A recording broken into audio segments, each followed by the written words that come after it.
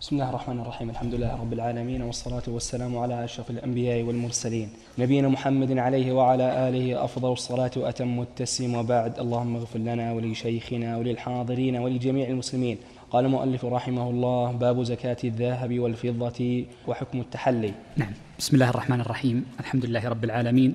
وأشهد أن لا إله إلا الله وحده لا شريك له وأشهد أن محمدا عبد الله ورسوله صلى الله عليه وعلى آله وأصحابه. وسلم تسليما كثيرا إلى يوم الدين. ثم أما بعد عقد المصنف هذا الباب وعنون له بقوله باب زكاة الذهب والفضة وحكم التحلي بهما. الجملة الأولى وهي قوله باب زكاة الذهب والفضة. هكذا ارتضى المصنف هذا العنوان وقد أخذه أو وافق فيه ما ذكره الشيخ أبو محمد في المقنع بينما في التنقيح والمنتهى وغيرها باب زكاة الأثمان. ولعل المصنف رحمه الله تعالى أعرض عن تسميته بالأثمان. وهي التسمية التي ذكرها صاحب التنقيح واقتصر على قوله الذهب والفضة لمعان لعل منها. أولا ما نبه إليه الشيخ عثمان بن قايد النجدي في حاشيته على المنتهى أن التعبير في هذا الموضع بالأثمان هو وصف هو تعبير أغلبي. وذلك أن الثمن على مشهور المذهب كما سيأتينا في باب السلم إن شاء الله أنه الذي تدخل عليه الباء من العوضين. وقد تدخل الباء على الذهب والفضة وقد تدخل على العوض الآخر فيكون الثمن خلاف خلافهما فلا يكون ذهبا ولا فضة كما لو بيع الذهب والفضة بغيرها. ولذلك فإن التعبير بالأثمان كما اعترض عثمان أغلبي.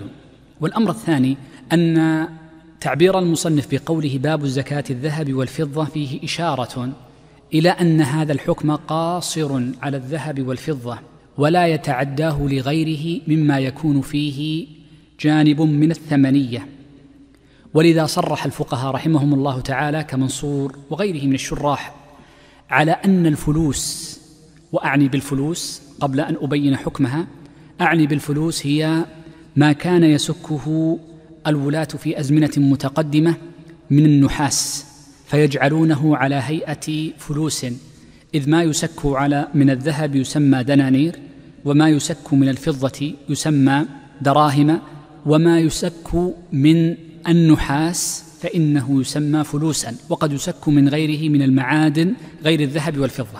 المعتمد عند متأخر المذهب أن الفلوس ليست في ليس فيها زكاة لذاتها إلا أن تكون معدة للتجارة والبيع.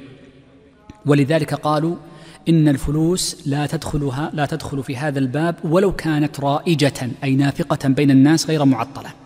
وذلك أن الفلوس أحيانا قد تكون رائجة وقد تكون أحيانا غير رائجة. فالرائجة التي سكها الولاة واعتمدوها وغير الرائجة التي سكها القدامى. فجاء المحدثون بعدهم فألغوها ولم يعتبروها. فيقولون إنه في الحالتين سواء كانت الفلوس رائجة أو غير رائجة فإنه لا يجري فيها لا لا يكون فيها حكم هذا الباب وإنما تدخل في الباب الذي بعده وهي عروض التجارة. وخالف الشيخ تقي الدين في هذه المسألة وكأن المصنف يميل لقوله لأنه سيذكر قوله بعد قليل من باب الجزم حينما قال قال الشيخ يعني الشيخ تقي الدين أن الفلوس إذا كانت غير نافقة فحكمها حكم العروض إما تجارة أو قنية. وأما إن كانت الفلوس نافقة بمعنى رائجة فإنه يغلب فيها الثمنية وحينئذ فالثمنية هي معيار أموال الناس فتكون فيها الزكاة كالذهب والفضة. ما الفرق بين القولين؟ الفرق بين القولين يظهر في مسائل عديدة. من هذه المسائل أننا إذا قلنا إن الفلوس وأكرر هنا أن المراد بالفلوس هي المسكوكات الفضية لكي لا يذهب وهلك لما نسميه الآن نحن فلوسا. أن أن الفلوس إذا قلنا إنها أثمان وفيها الزكاة فإن الزكاة تخرج من عينها وأما إذا قلنا لا زكاة فيها وإنما هي من عروض التجارة فإن الزكاة تخرج من قيمتها ولا يجوز ولا يجزئ إخراج الزكاة من عينها إذ سيأتينا أن عروض التجارة لا يجزئ كما تعلمون على مشهور المذهب إخراج الزكاة منها وإنما تخرج من قيمتها من قيمتها فتخرج الزكاة ذهبا أو فضة. الثمرة الثانية أنه لا يجزئ إخراج الفلوس عن زكاة الذهب والفضة. فحيث وجب على المرء زكاة ذهب وفضة فيجب أن يخرج الزكاة منهما ولا يخرجها من الفلوس.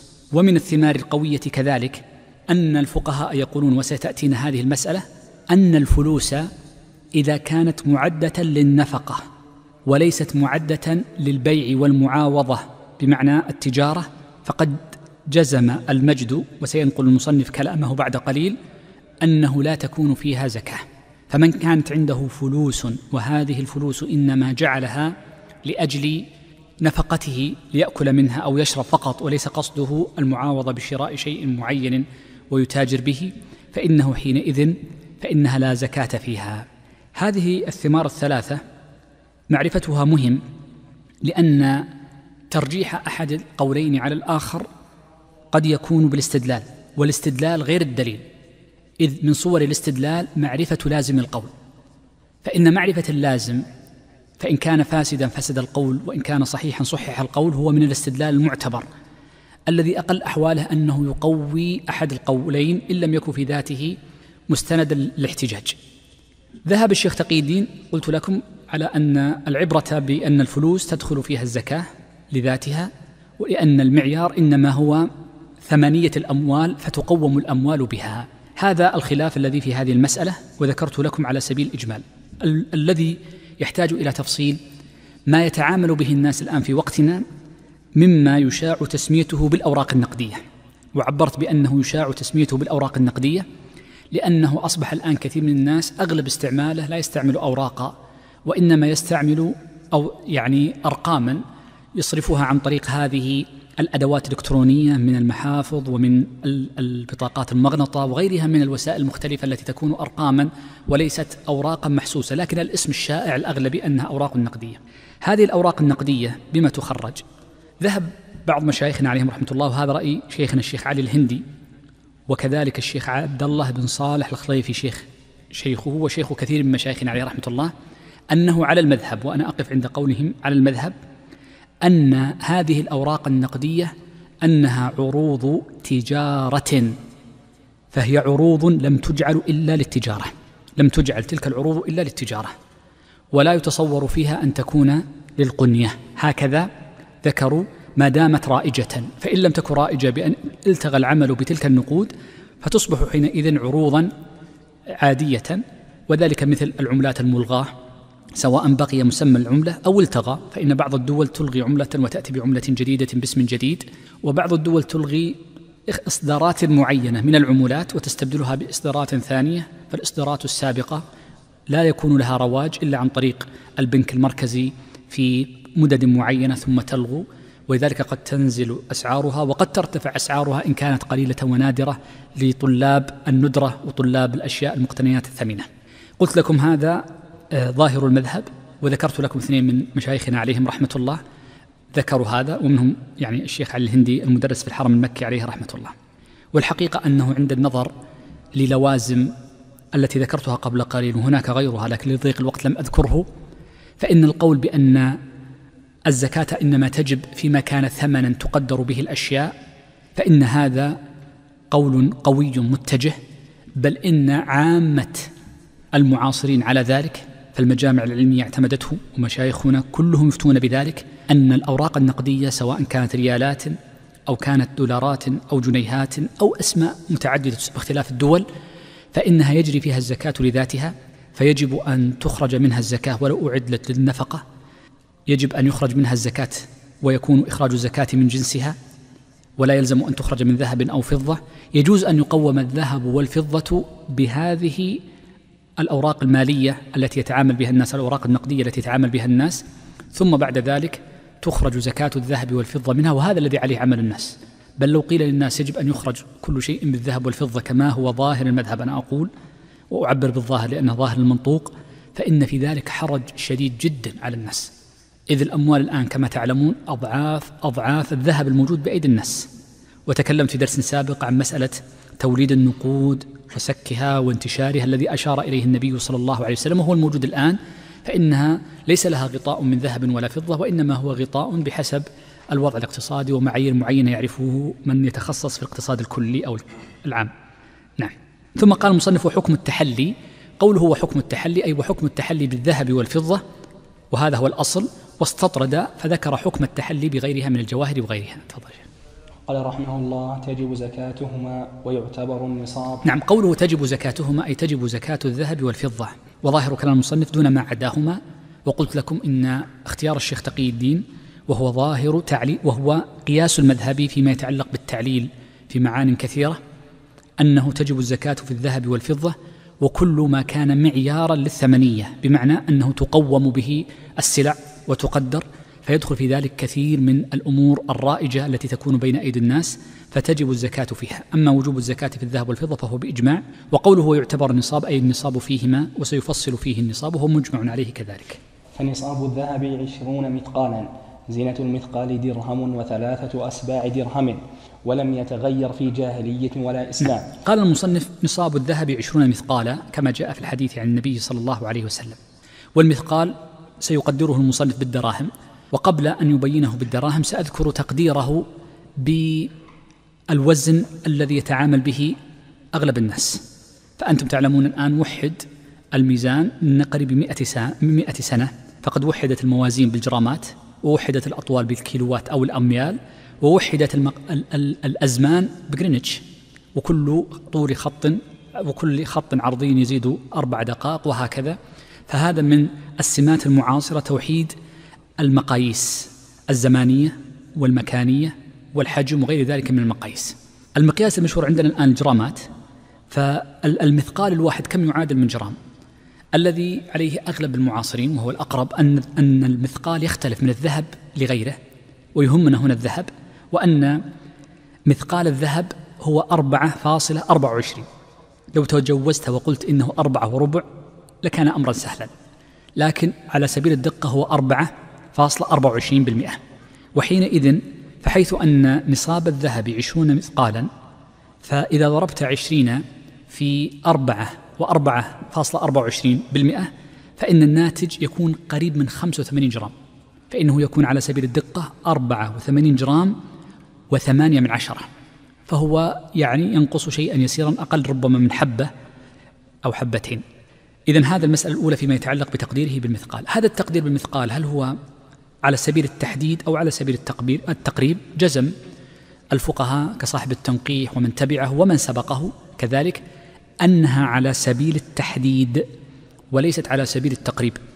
وشرحت بدءا من كتاب الطهارة في مسألة القلتين ما الفرق بين التحديد والتقريب وما ما, آه، ما الذي يترتب على ذلك.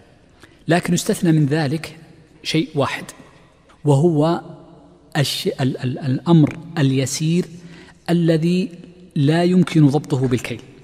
ولذلك فإن القطيعي في شرحه على المحرر يقول والنقص أي عن النصاب في الذهب عن عشرين مثقال وفي الفضة عن مئتي درهم قال والنقص إن كان يسيرا وهو أي اليسير ما لا يضبط غالبا كالحبة والحبتين فإنه لا لا يؤثر في إسقاط الزكاة.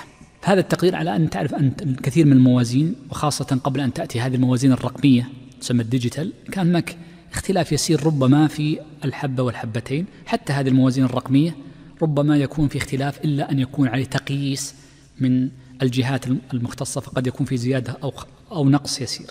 وعلى العموم كلام القطيع متجه لأن الشريعة جاءت بالعفو عن اليسير ويختلف اليسير من باب لباب ومن مسألة لأخرى. ثم قال المصنف سنة المثقال درهم وثلاثة أسباع درهم. سيأتينا إن شاء الله ما مقدار الدرهم بالجرامات بعد قليل. نعم. وهو ثنتان وسبعون لا قبل في جملة ولم؟ ولم يتغير في جاهلية ولا إسلام. نعم قوله ولم يتغير الضمير في قوله ولم يتغير يعود الضمير المضمر يعود إلى المثقال أي أن المثقال لم يتغير في الجاهلية ولا في الإسلام. هذا النقل الذي نقله المصنف نقله ابن مفلح رحمه الله تعالى عن أصحابنا. هكذا قال قال أصحابنا لم يتغير المثقال في جاهلية ولا في إسلام. وهذه الجملة التي نقلها ابن مفلح نقلها كذلك ابن كثير في ترجمة آه، عبد الملك بن مروان وذكر ما حدث من أفعال كانت في زمانه وفي وقت الحجاج وذكر قال ذكر أن المثقال لم يتغير في جاهلية ولا إسلام ثم قال ابن كثير وفيه نظر فنظر بمعنى أنه قال فيه تأمل أن المثقال لم يتغير بل ربما كان متغيرا في أوقات أو في بلدان هكذا قال والمسألة على العموم يعني ليس لها كبير ثمرة فإن كانت قد تغيرت عند بعض الناس فإنه نادر ولا حكم له. يهمنا هنا أن مقدار الدينار آه، مقدار المثقال أن مقدار المثقال والدينار لا خلاف فيه بين المسلمين. فقد ذكر الإمام أحمد أن الدنانير ليس فيها اختلاف فهم لا خلاف بينهم في تقدير قدرها في الإسلام. وأما في مسألة الجاهلية فهذا يعني أمر لا ثمرة له. نعم. وهو ثنتان وسبعون حبة شعير متوسطة. وقيل ثنتان وثمانون حبة وثلاثة أعشر حبة من الشعير المطلق ولا تنافي بينهما. نعم. قوله وهو أي المثقال قدره بالشعير المتوسط والشعير المطلق. ثم قال لا تنافي بينهما باعتبار اختلاف الحجم بين المتو... عفوا الوزن باختلاف الوزن بين الشعير المتوسط والشعير المطلق المطلق يشمل المتوسطة والطويلة وغيرها. حبة الشعير يقدر بها الفقهاء في ثلاثة مواضع يقدرون به في الأطوال ومر معنا التقدير بها في مسافة القصر ويقدر بها في الأوزان هنا فإنه يقدر بها في الأوزان ويقدر بها أيضا في الأحجام مثل ما قدروا بها في الأصاع والرطل وغيره. ومر معنا أن تقدير التقدير بها في في الأحجام بأن توزن ثم يؤخذ الحجم فيكون موازيا للحجم المراد تقديره حين ذاك. إذا فالحبة تستخدم ثلاث مرات في التقدير عندهم سابقا. قول المصنف ولا تنافي بينهما هذا تبع فيه صاحب التنقيح. نعم. وزينة العشرين مثقالا بالدراهم ثمانية وعشرون درهما وأربعة أسباع درهم. وبدينار قول المصنف وزينة العشرين مثقالا أي الذي هي نصاب بالدراهم ثمانية وعشرون دينار درهما وأربعة أسباع درهم مر معنا أن أن المثقال الواحد درهم وثلاثة أسباع. فإذا ضربت واحد وثلاثة أسباع في عشرين سيخرج لك الناتج ثمانية وعشرين وأربعة أسباع. آه نفس الكلام. إذا أردت أن تعرف زينة الدرهم فتستطيع أن تعرف زينة الدرهم بنفس المقدار فتقسم حينئذ آه هذا المقدار فتجد أن الدرهم يعادل جرامين وتسعمائة و لا وسبعة وتسعين تقريبا أو وأربعة وسبعين تسعمائة أو أربعة وسبعين من الألف. هذا هو الميزان الدقيق جدا لوزن آه، الدرهم الواحد. سيأتي في الفضة بتوسع. نعم. وبدينار الوقت الآن في الوقت الآن في وقت المصنف واستمر هذا الدينار لمن بعده إلى مئة سنة بعده فقد ذكر أنه موجود في وقتهم كذلك ابن قايد في حاشية على المنتهى أنه يتعاملون بهذا الدينار بهذه الزنا. الذي زينته درهم وثمن درهم. وهذا يدلنا على أن الدرهم تغير حجمه. خمسة وعشرون دينارا وسبع دينار وتسعة. نعم هذا نصاب الذهب وانتهينا منه. تفضل. ونصاب الفضة مئتا درهم. نعم لأنه جاء في الحديث ذلك. فقد جاء عن النبي صلى الله عليه وسلم أنه قال ليس فيما دون خمس أواق صدقة. والأوقية تعادل أربعين درهما باتفاق. فحينئذ إذا ضربت خمسة في أربعين يدلنا على أن النصاب مئتا درهم. وبالمثاقيل مئة وأربعون مثقالا وفيهما ربع العشر مضروبين أو غير مضروبين. نعم. الدرهم كما مر معنا تقريبا 2.97% ويكفي هذا ما يحتاج من الألف. 2.97% إذا ضربت 2.97 في 200 ستجد أن الناتج وهو النصاب الفضة 594 جرام. هذا هو نصاب الفضة. يقول المصنف وفيهما أي في الذهب والفضة ربع العشر مطلقا سواء كانا مضروبين. أي مسكوكين على هيئة العمولات من الدنانير والدراهم أو كانت غير مضروبة بأن كانت تبرا أو كانت حليا أو كانت مصنوعة بأي صنعة فإن الزكاة في الجميع واحدة لا فرق. والاعتبار بالدرهم الإسلامي الذي زينته ستة دوانق والعشرة دراهم سبعة مثاقيل فالدرهم نصف مثقال وخمسه. نعم. قول المصنف والعبرة بالدرهم الإسلامي ما معنى هذه الجملة؟ معناها أن الدراهم تختلف باختلاف البلدان وهذا الاختلاف كان موجودا في صدر الإسلام وموجودا بعد ذلك وسمي هذا الدرهم درهما إسلاميا. قالوا لأن عبد الملك بن مروان سكه واعتمده وبعض الناس يقول إن عبد الملك بن مروان لما سكه لم يكن مسكوك درهم بهذا الحجم قبله وأنكر هذا القول آه، ابن مفلح وقال هذا غير صحيح بل هو قول باطل فإن الدراهم كانت معروفة في زمن النبي صلى الله عليه وسلم وقد قدر بها الأنصبة وكان فيها تذكر في البيع والشراء وغيره وإنما الذي فعله عبد الملك بن مروان أنه أول من سك هذه الدراهم. وإن قيل إن عمر سك دراهم معينة لكن هو أول من سكها سكا جديدا وجعل عليها علامة إسلامية دون العلامات الأخرى. إذ ما قبل ذلك الدراهم التي كانت بأيدي المسلمين عليها علامة الروم أو فارس مثل الدراهم الساسانية المشهورة موجود منها الآن. ولكن كان المسلمون يغيرون فيها بعض العلامات مثل صورة الوجه ومثل إلغاء الصليب وغير ذلك ويبقونها كما هي. أما السك الدرهم الإسلامي بالصورة التي هو عليها فإن أول من سكها هو عبد الملك بن مروان. وسيأتي كيف سك عبد الملك بن مروان ذلك. إذا الدرهم الإسلامي سمي إسلاميا لسببين. قيل لأنه أول من سكه أو, أو لأنه أول ما ضرب في الإسلام وسك في الإسلام هو. وليس معناه أنه لم يكن موجودا قبل ذلك بل كان موجودا لكن لم يكن من سكة المسلمين. والأمر الثاني أنه سمي إسلاميا لأنه هو الذي آه، اعتمد في تقدير أحاديث النبي صلى الله عليه وسلم. وقد قال جمع من أهل العلم أظن نقله بمفلح أو غير نسيت الآن أن أهل العصر الأول أجمعوا على تقدير الدرهم بذلك. فكان إجماعهم ينسب إليه الدرهم الإسلامي. فالتقدير بالحجم الذي سنذكره بعد قليل مقدر بإجماع أهل العصر الأول. كم مقداره بميزان الذي عندنا؟ أشرت لكم قبل قليل أن الدرهم الإسلامي يعادل جرامان وسبعة وتسعين بالمئة. جرامان وسبعة وتسعين بالمئة. وهذا يكاد يكون يعني عامة المعاصرين عليه لا يوجد خلاف إلا ضعيف جدا. والدراهم الإسلامية التي وجدت في الصدر الأول بسك عبد الملك بن مروان منتشرة وبكثرة موجود الآن وبكثرة في كثير من المتاحف. هنا بجانبنا في مكتبة مكتبة الملك عبد العزيز يوجد مئات الدراهم بل ألوف الدراهم الإسلامية التي بسك عبد الملك مروان وتجد أن وزنها ربما زاد في واحد في الألف وربما نقص عن ذلك ولكن في الغ... هي غالبا لا لا تزيد ولا تنقص عن 2.7 2.97 طيب هنا قدرها بالمثاقيل وسبق الإشارة إلى ما سبق. نعم تفضل. قال رحمه الله وكانت الدراهم في صدر الإسلام صنفين سوداء وهي البغلية نسبة إلى ملك يقال له رأس البغل. الدرهم منها ثمانية دوانق والطبرية نسبة إلى طبرية الشام. الدرهم منها أربعة دوانق. طيب نقف هنا.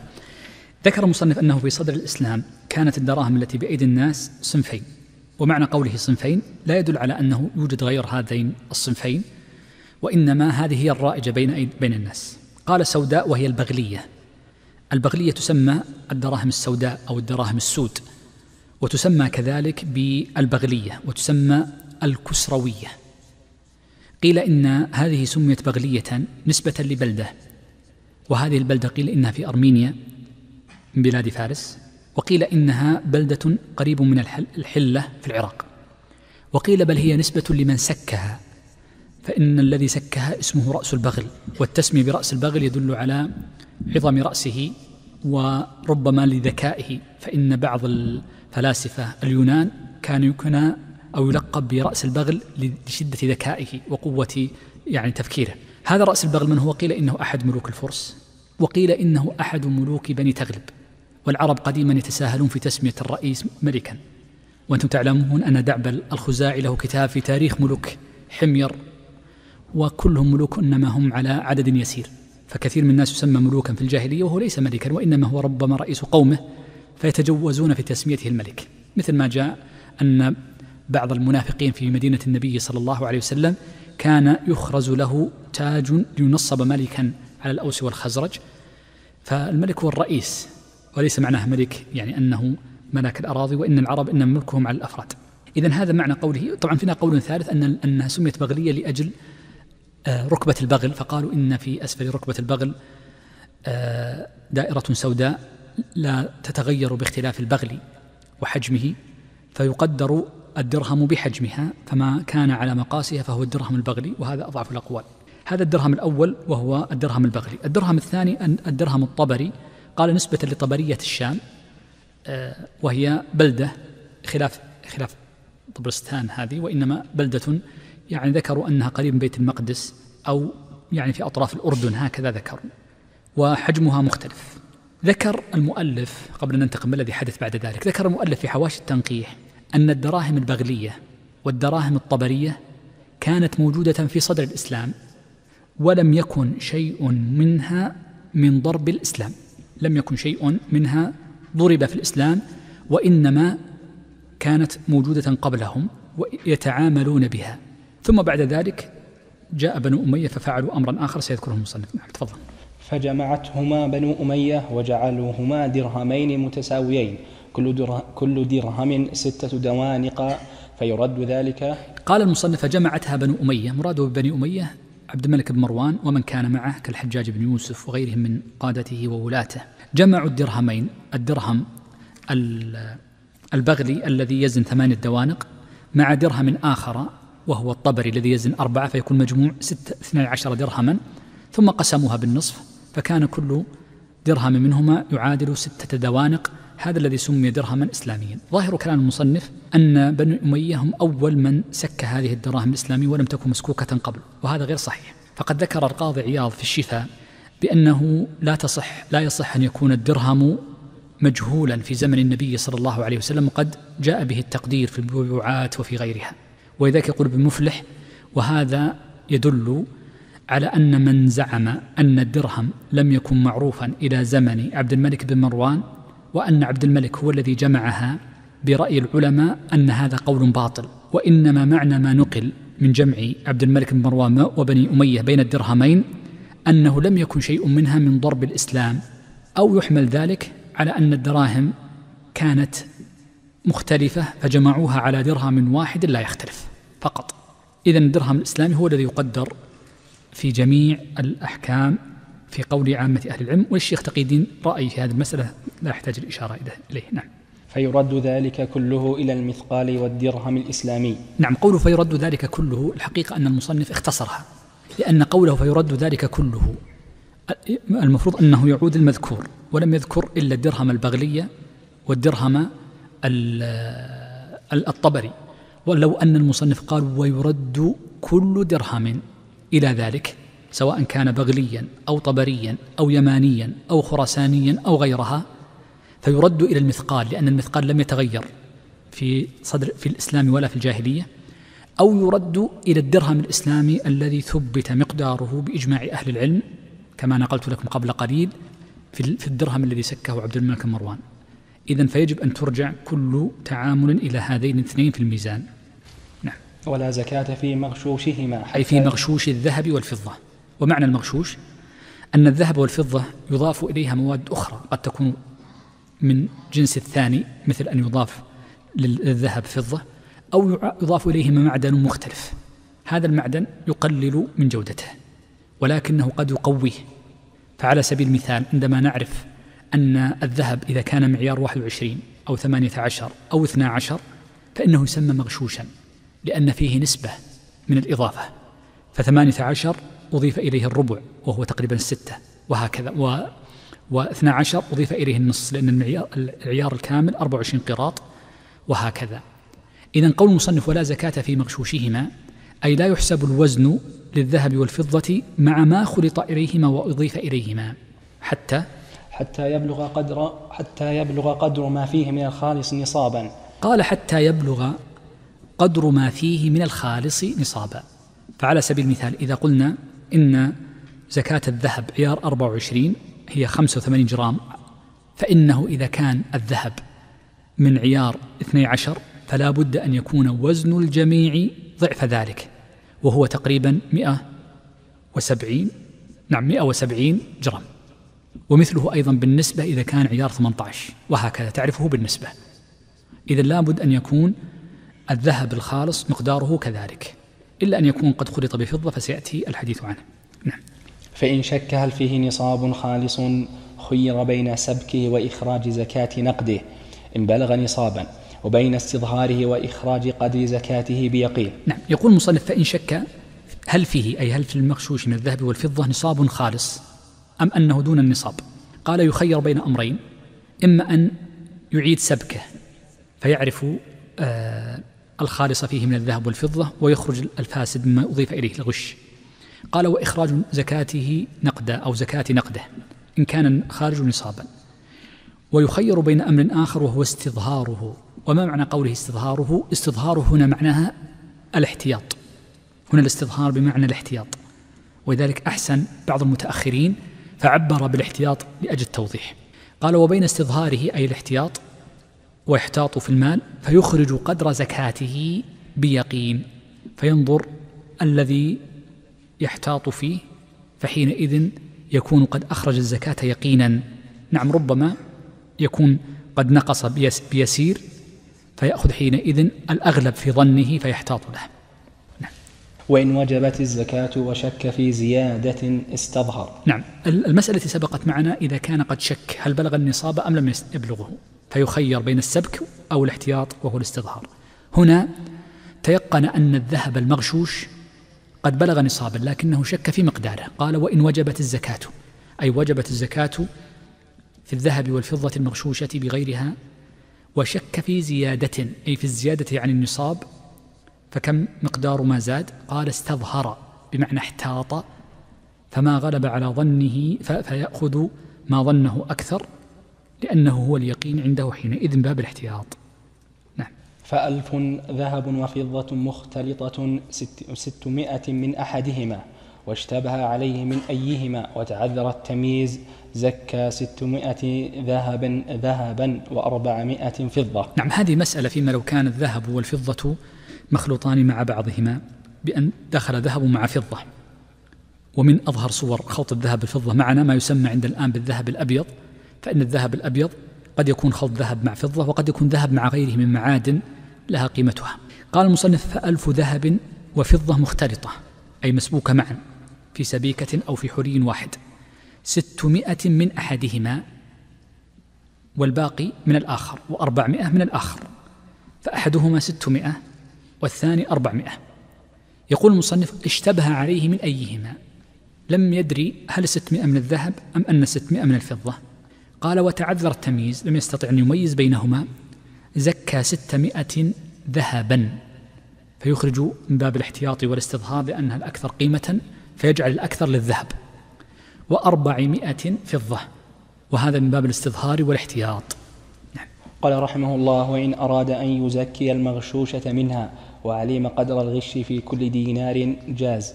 وإلا لم يجزئه إلا أن يستظهر فيخرج قدر الزكاة بيقين. نعم. يقول المصنف وإذا كان عنده ذهب أو فضة مغشوشة وعلم قدر الغش طبعا هنا الغش قد يكون بإرادته. هنا تعبير خاص بالذهب والفضة نسميه الآن المخلوط أو ما كان دون كامل القراريط يعني أقل من 24 قراط. الآن لوجود جهات التقييس لابد أن يختم على الذهب كم مقدار قراريطها هو 24 أم 18 أو 16 أو أقل من ذلك أو أكثر. يقول وإن أراد أن يزكي المغشوش. إذا تنبيه قبل قليل لا تظن أن المغشوش هو الغش كالبيع والشراء لا قصد المغشوش الذي خلط بغيره. وإذا أراد أن يزكي المغشوش منها أي من الذهب أو الفضة التي عنده وعلم قدر الغش في كل دينار. مثل الآن عندما تذهب للمحلات يقول لك هذا عيار 18 جاز له أن يخرج ذلك. جاز أي جاز. وهذا سهل جدا في وقتنا. لأنه يختم على الذهب من عيار 18 فالغش فيه ستة. فيخرج بمقدار 18 وتقدم المثال له قبل قليل. قال وإلا لم يجز. أي وإن لم يك قد علم مقدار الغش في الذهب والفضة لم يجز له أن يخرج منه. قال إلا أن يستظهر يعني يحتاط فيخرج قدر الزكاة بيقين. فلو كان مترددا هل الغش ثلاثين بالمئة أم أنه عشرين بالمئة؟ فحينئذ يأخذ الأقل فيخرج زكاة إذا كان الغش عشرين بالمئة فقط. وهذا هو الاستظهار الذي يراد به الاحتياط. نعم. وإن أخرج ما لا غش فيه فهو أفضل. نعم يقول المصنف وإن أراد أن يخرج ما لا غش فيه بأن يخرج ذهبا خالصا أو فضة خالصة عن ما فيه غش فهو أفضل. وهذا يعني كان قديما لفائدة لأن كثير من الناس قد ينغشوا بالمغشوش ويظنه خالص فإذا ذهب للصيار فعرفوه. وقد يكون في وقتنا يختلف الوضع الآن فكل شيء مختوم وهو مميز وبين. ويعرف قدر غشه حقيقة بأن يدع ماء في إناء ثم يدع فيه ذهبا خالصا زينة المغشوش. ويعلم علو الماء ثم يرفعه ويدع بدله فضة خالصة زنة المغشوش. ويعلم علو الماء وهو أعلى من الأول لأن الفضة أضخم من الذهب ثم يرفعها ويدع المغشوش. ويعلم علو الماء ثم يمسح ما بين العلامة الوسطى والعليا وما بين الوسطى والسفلى. فإن كان الممسوحان سواء فنصف المغشوش ذهب ونصفه فضة. وإن زاد أو نقص فبحسابه. نعم هذه مسألة يقول يعني مسألة في الحقيقة مسألة نقول يعني يعني تقييسية هي ليست موجودة في كتب المذهب وإنما ذكرها المصنف والمصنف يحب الأمور الرياضية فإنه يحب الحساب وله مصنفات خاصة في الحساب. هذه طريقة كيف تعرف المغشوش من غيره؟ قال تأتي بإناء. هذا الإناء يجب أن يكون وجوبا أن يكون أسفله وأعلاه أن يكون بعرض واحد. فلا يكون من أسفل واسعا ولا من أعلى ضيق أو العكس بل يجب أن يكون من أسفله وأعلاه بعرض واحد. وأفضل أن يكون ضيقا وألا يكون واسعا لأن كلما كان ضيقا كل شيء يوضع فيه يرتفع أكثر. وهذا معروف الآن يستخدم في قياس عدد اللترات أحجام اللترات. فعندهم عندهم عند التقييس يأتيك بأنبوبة طويلة معلم عليها المقادير. موجود الآن عند التقييس تستطيع أن تشتريها من المحلات المكتبات وغيرها.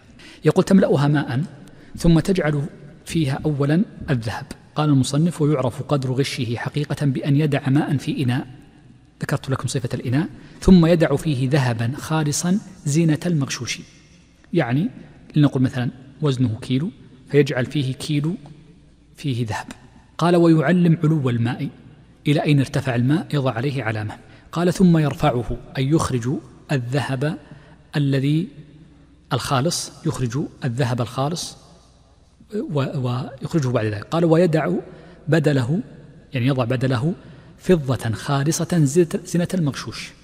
يعني عندنا مغشوش وزنه كيلو يأتي قبل ذلك بكيلو ذهب خالص عيار 24 ثم يأتي بعده بفضة بعيار 24 فيجعل أولا الذهب وينظر كم ارتفع ثم يجعل الفضة وينظر كم ارتفعت.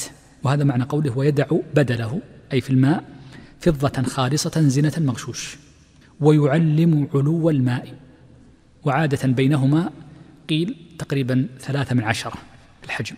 قال وهو أعلى من الأول أي أن الماء سيرتفع في الفضة أعلى من الذهب. والسبب؟ قالوا لأن الفضة أخف وزنا من الذهب. فكلما كان الشيء أخف وزنا فإنه يكون أكبر حجما. الوزن إذا كان خفيف يكون أكبر حجم. وذلك يرتفع والماء يرتفع باعتبار اللو قال لأن الفضة أضخم من الذهب. أضخم باعتبار الحجم وليس باعتبار الوزن. قال ثم يرفعها أي الفضة التي وضعها في الإناء ويدع المغشوش. بعدما يخرجها يجعل المغشوش الذي وزنه كيلو على سبيل المثال ويعلم علو الماء. وقطعا سيكون بين الذهب والفضة لأنه مغشوش بين ذهب وفضة. قال ثم يمسح. يمسح هنا بمعنى يقيس. كم بينها وبين الفضة وكم بينها وبين الذهب. وينسب ينسب. فلو أنها في النصف فيكون نسبته النصف. لو أنها أسفل الربع فيكون الربع للأسفل وثلاث أرباع للأعلى وهو الفضة. قال ويم ثم يمسح هنا المسح بمعنى القياس من المساحة والنسبة. ثم يمسح ما بين العلامة الوسطى وهي علامة الذهب المغشوش لأنها قطعا ستكون وسطى والعليا وهي علامة الفضة.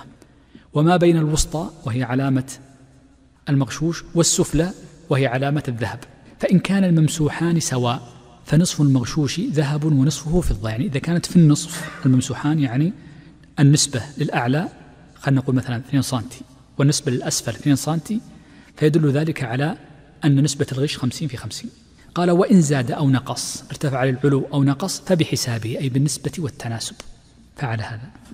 قال رحمه الله فعل هذا لو كان ما بين العليا إلى الوسطى ثلثي ما بين العلامتين وما بين السفلى إلى الوسطى ثلثه. كانت الفضة الثلثين والذهب الثلث وبالعكس الذهب الثلثان. والأولى أن يكون الإناء طيب والذهب وبالعكس وبالعكس الذهب ثلثان. هذا واضحة ووضحت بالشرح السابق. تفضل. والأولى أن يكون الإناء ضيقا. نعم يعني كلما كان ضيق كلما كانت العلامة أعلى وأوضح.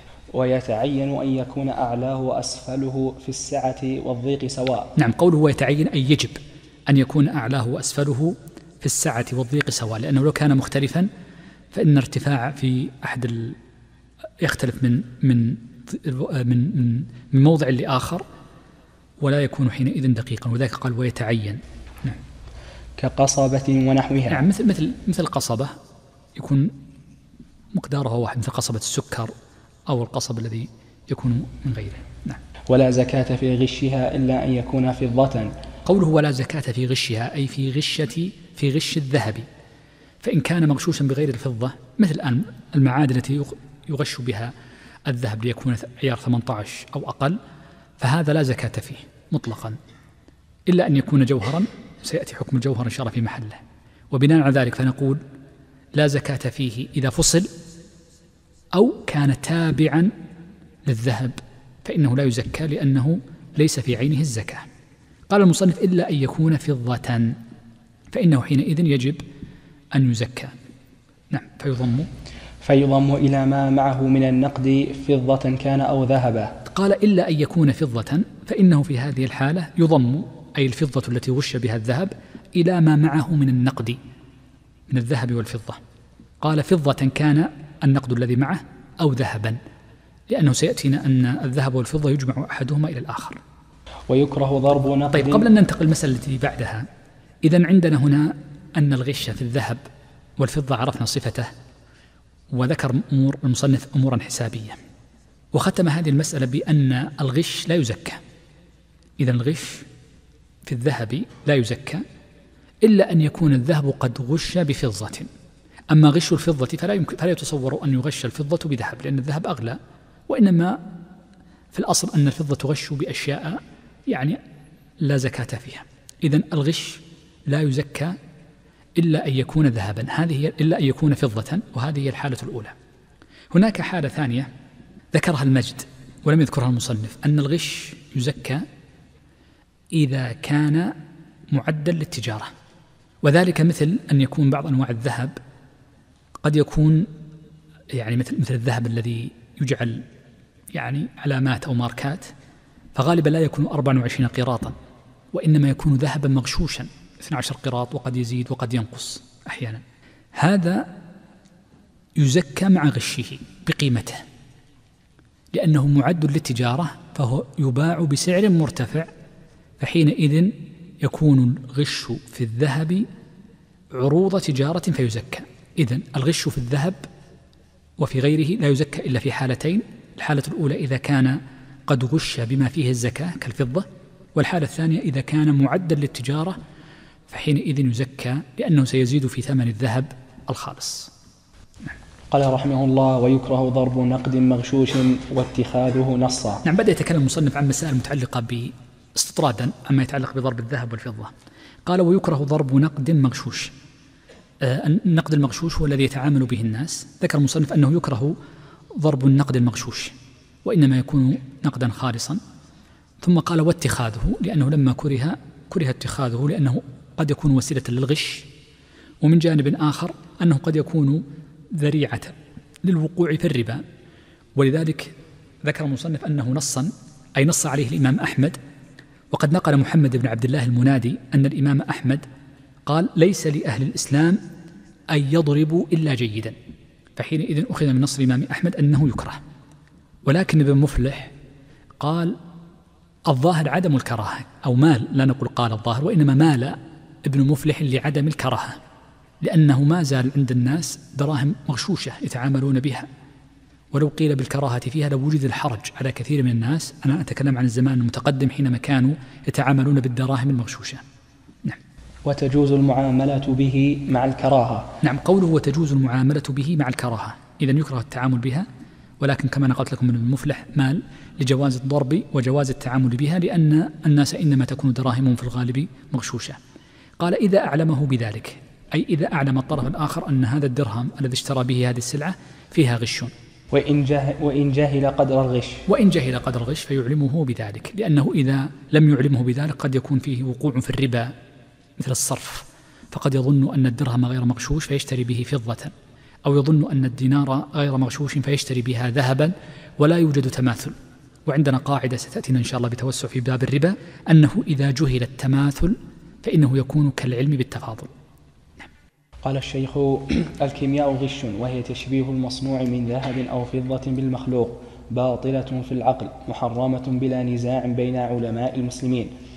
ولو ثبتت على الروباص ويقترن بها كثيرا السمياء التي هي هي من السحر.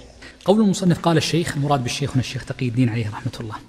وهذا الكلام الذي نقله المصنف عن الشيخ هو ذكره ابن مفلح في كتاب البيع ولكن المصنف نقله هنا لمناسبة ما يتعلق بالذهب والفضة قول المصنف الكيمياء الكيمياء قديما لها تعريف وحديثا لها تعريف مختلف فمن الخطأ أن تظن أن الكيمياء الذي يتكلم عنه السلف كأبي يوسف صاحب الإمام أبي حنيفة وغيره من متقدمي أهل العلم هو الكيمياء الذي نتعامل بها الآن.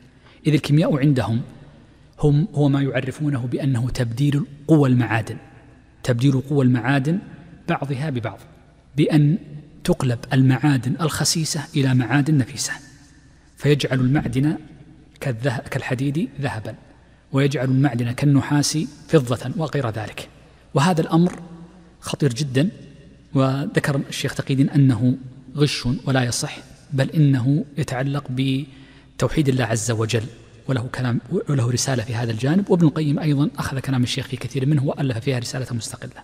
أما الكيمياء التي نتعامل بها الآن وتدرس للناس من صغرهم من المتوسط فما بعدها فهي تختلف عن تلك التي تتعلق بقلب. هناك قلب الكيمياء القديمة قلب. كيف تقلب معدن إلى معدن. أما الكيمياء التي ندرسها ونتعلمها منذ القدم فهي دراسة المواد دراسة خواصها وكيفية تفاعلها وسلوك هذه المواد من حيث التمدد وغيره وما تنفع فيه من يعني آثار كيميائية وغيرها. وهذا ليس فيه تغيير لحقائق المواد بل يذكر إذا تفاعلت كيف تكون. بينما الأوائل يزعمون أنهم سيقلبوا النحاس ذهبا. وهذا ما لا يثبته شرع بل, بل يخالف الدين كما ذكر الشيخ تقي الدين والتوحيد.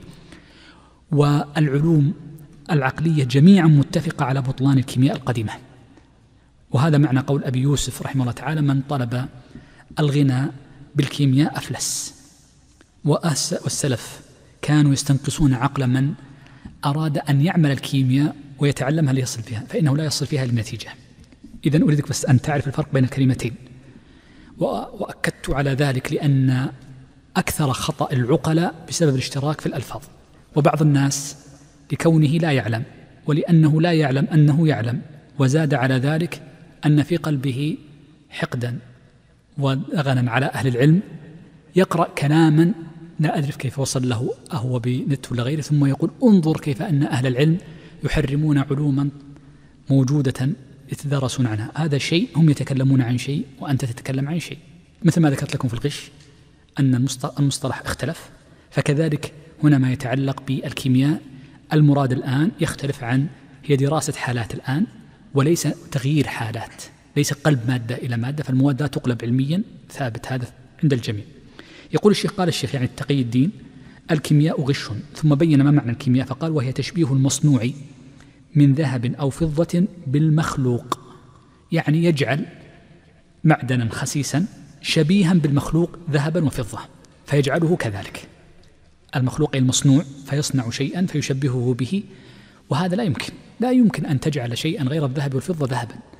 الذهب له تركيبته الكيميائية وتركيبه الأصلي الفزي ولا يمكن نقل معدن من نوع إلى آخر لا يمكن ذلك. قال باطل في العقل وهذا مسلم عند جميع الناس الآن. مسلمهم وكافر أن هذا باطل في العقل. قال الشيخ محرم بلا نزاع بين علماء المسلمين. بل ذكر الشيخ تقييد أن هذا يخالف التوحيد.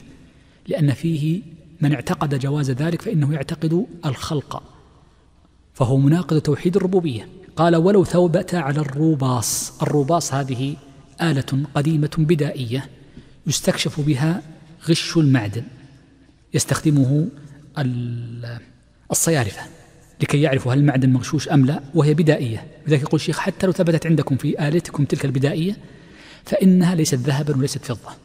يقول حتى لو ما يعني آلتكم البدائية اكتشفت ذلك وهذا الذي يعني مسلم ولا شك فيه. قال ويقترن بها كثيرا السيمياء. السيمياء ما هو؟ قالوا علم يتعلق بالخيال بحيث أن الشخص يتخيل خيالات لا وجود لها في الخارج. فالشيخ يقول إن هذه الكيمياء تجعل الحقيقة غالب من يتعامل بها هو يتعامل بالسيمياء بأن يجعل الذي أمامه يتخيل أن الذي بين يديه ذهبا أو فضة. مثل ما نسمع عن بعض الناس إن كان صحيح لا أدري. أنه يعطيها أوراق فيقلبها له أوراقا نقدية. فهي في الحقيقة يجعل الذي أمامه يتخيل ذلك. هذا يسميه الأوائل من علماء اليونان بالسيمياء أن يجعل الذي أمامك يتخيل هذا الشيء. باللهجة الدارجة يسمى عند التقمير. ما أدري هل ما زال هذا الاسم موجود. بتركي موجود. تقمير. زين. طيب. قال التي هي من السحر. الشيخ يرى أن السيمياء هي من ذلك. تفضل قال رحمه الله ومن طلب زيادة المال بما حرمه الله عوقب بنقيضه كالمرابي يعني هي الخسارة. وما زال آثار السلف كثيرة. ذكرت منكم قول أبي يوسف صاحب الإمام أبي حنيفة عليهما رحمة الله من طلب المال والغنى بالكيمياء, بالكيمياء أفلس. فمن طلب هذه الأمور التي لا حقائق لها يفلس. قال الشيخ ومن طلب زيادة مال بما حرم الله. هذا من المعاني الجميلة التي يلتفت لها الشيخ كثيرا. قال عوقب بنقيضه وهو الخسارة كالمرابي ومثله أيضا من طلبها بهذا الفعل المحرم وهو الكيمياء المحرمة عقلا والباطلة المحرمة شرعا والباطلة عقلا. وهي الكيمياء؟ وهي أشد تحريما منه. لأنها تتعلق بالتوحيد الله عز وجل فتحريمها لأجل تعلقها بالتوحيد. ولو كانت حقا مباحا لوجب فيها خمس أو زكاة ولم يوجب ولم يوجب عالم فيها شيئا. هذا يدل على أنه إجماع أنها ليست حقا وليست مباحة. والقول بأن قارون عملها باطل. نعم باطل لم يثبت مطلقا لا نقلا ولا عقلا. ولم يذكرها ويعملها إلا فيلسوف أو اتحادي أو ملك ظالم. نعم لم يعملها إلا فيلسوف, فيلسوف يدعي ذلك. أو اتحادي لأنه يشكك في خلق الله عز وجل والاتحادية عندهم تشكيك حتى في الربوبية. قال أو ملك ظالم يريد أن يكذب على الناس ويظلمهم ليأخذ أموالهم. وقال نعم القول المصنف هنا وقال هذا قول آخر للشيخ لم ينقله ابن مفلح وإنما نقله الشيخ من فتاوى الشيخ تقي الدين. وهذا النقل القادم هو المتعلق بالزكاة. والحقيقة أن هذا النقل القادم ذكره الشيخ تقي الدين من باب الاستدلال والتقرير لمسألة أن المعيار فيما تجب فيه الزكاة إنما هو معيار الثمنية والتقويم للأموال. فكل ما قوم قيمت به الأموال وكان محلا لشراء السلع به بأن كان ثمنا فإنه تجب الزكاة في عينه. وعلل ذلك الشيخ بما سيأتي بعد قليل. ونقل الشيخ أقصد المصنف عن الشيخ تقي الدين هذا الكلام يدلنا على أنه له ميل لقول الشيخ تقي الدين وإن لم يكن تصريح أو ميل قوي والأمر الثاني لأجل مناسبة ما يتعلق بالفلوس ونحوها. ولذلك فمن المناسب أن نتكلم عن قضية الفلوس ماذا كانت عليه قديما ولما ذكر الشيخ هذا الشيء. قديما كان الولاة وخاصة بعد القرن الخامس الهجري والسادس عندما قلت الأموال بأيدي الناس كان الولاة يظلمون في صنع هذه الفلوس. فكان الوالي ومر معنا تذكرون آه، حكم القبلات أنه يأتي الوالي للوالي الذي أعلى منه ويقول أنا أتقبل منك المنطقة الفلانية أو المدينة الفلانية وخذ عليها هذا المال فيأخذ منه مالا لنقول عشرة ألاف. ثم يأتي الوالي الأصغر الذي دفع القبلات ثم يأتي على على الناس فيأخذ منهم أموالهم إما جبرا من غير وجه حق أو يتحيل بأن يمنعهم من من التعامل بالذهب والفضة ويضرب لهم فلوسا عليها اسمه ويقول لا تتعاملوا في الأسواق إلا بهذه الفلوس ويرفع أسعارها. فإن كان الوالي الذي قبله قد جعل فلوسا أخذ فلوسه بأرخص الأثمان ثم سكها بالسكة الجديدة وباعها عليهم بأضعافها. فكان فيه أكل أموال الناس بالباطل وبالظلم. فلا تصبح الفلوس رائجة ونافقة إلا بقاء هذا الوالي. بل ربما تنفق سنة أو سنتين ثم بعد ذلك يبطلها ويأتي بفلوس جديدة ليأكل أموالهم بطريقة أخرى.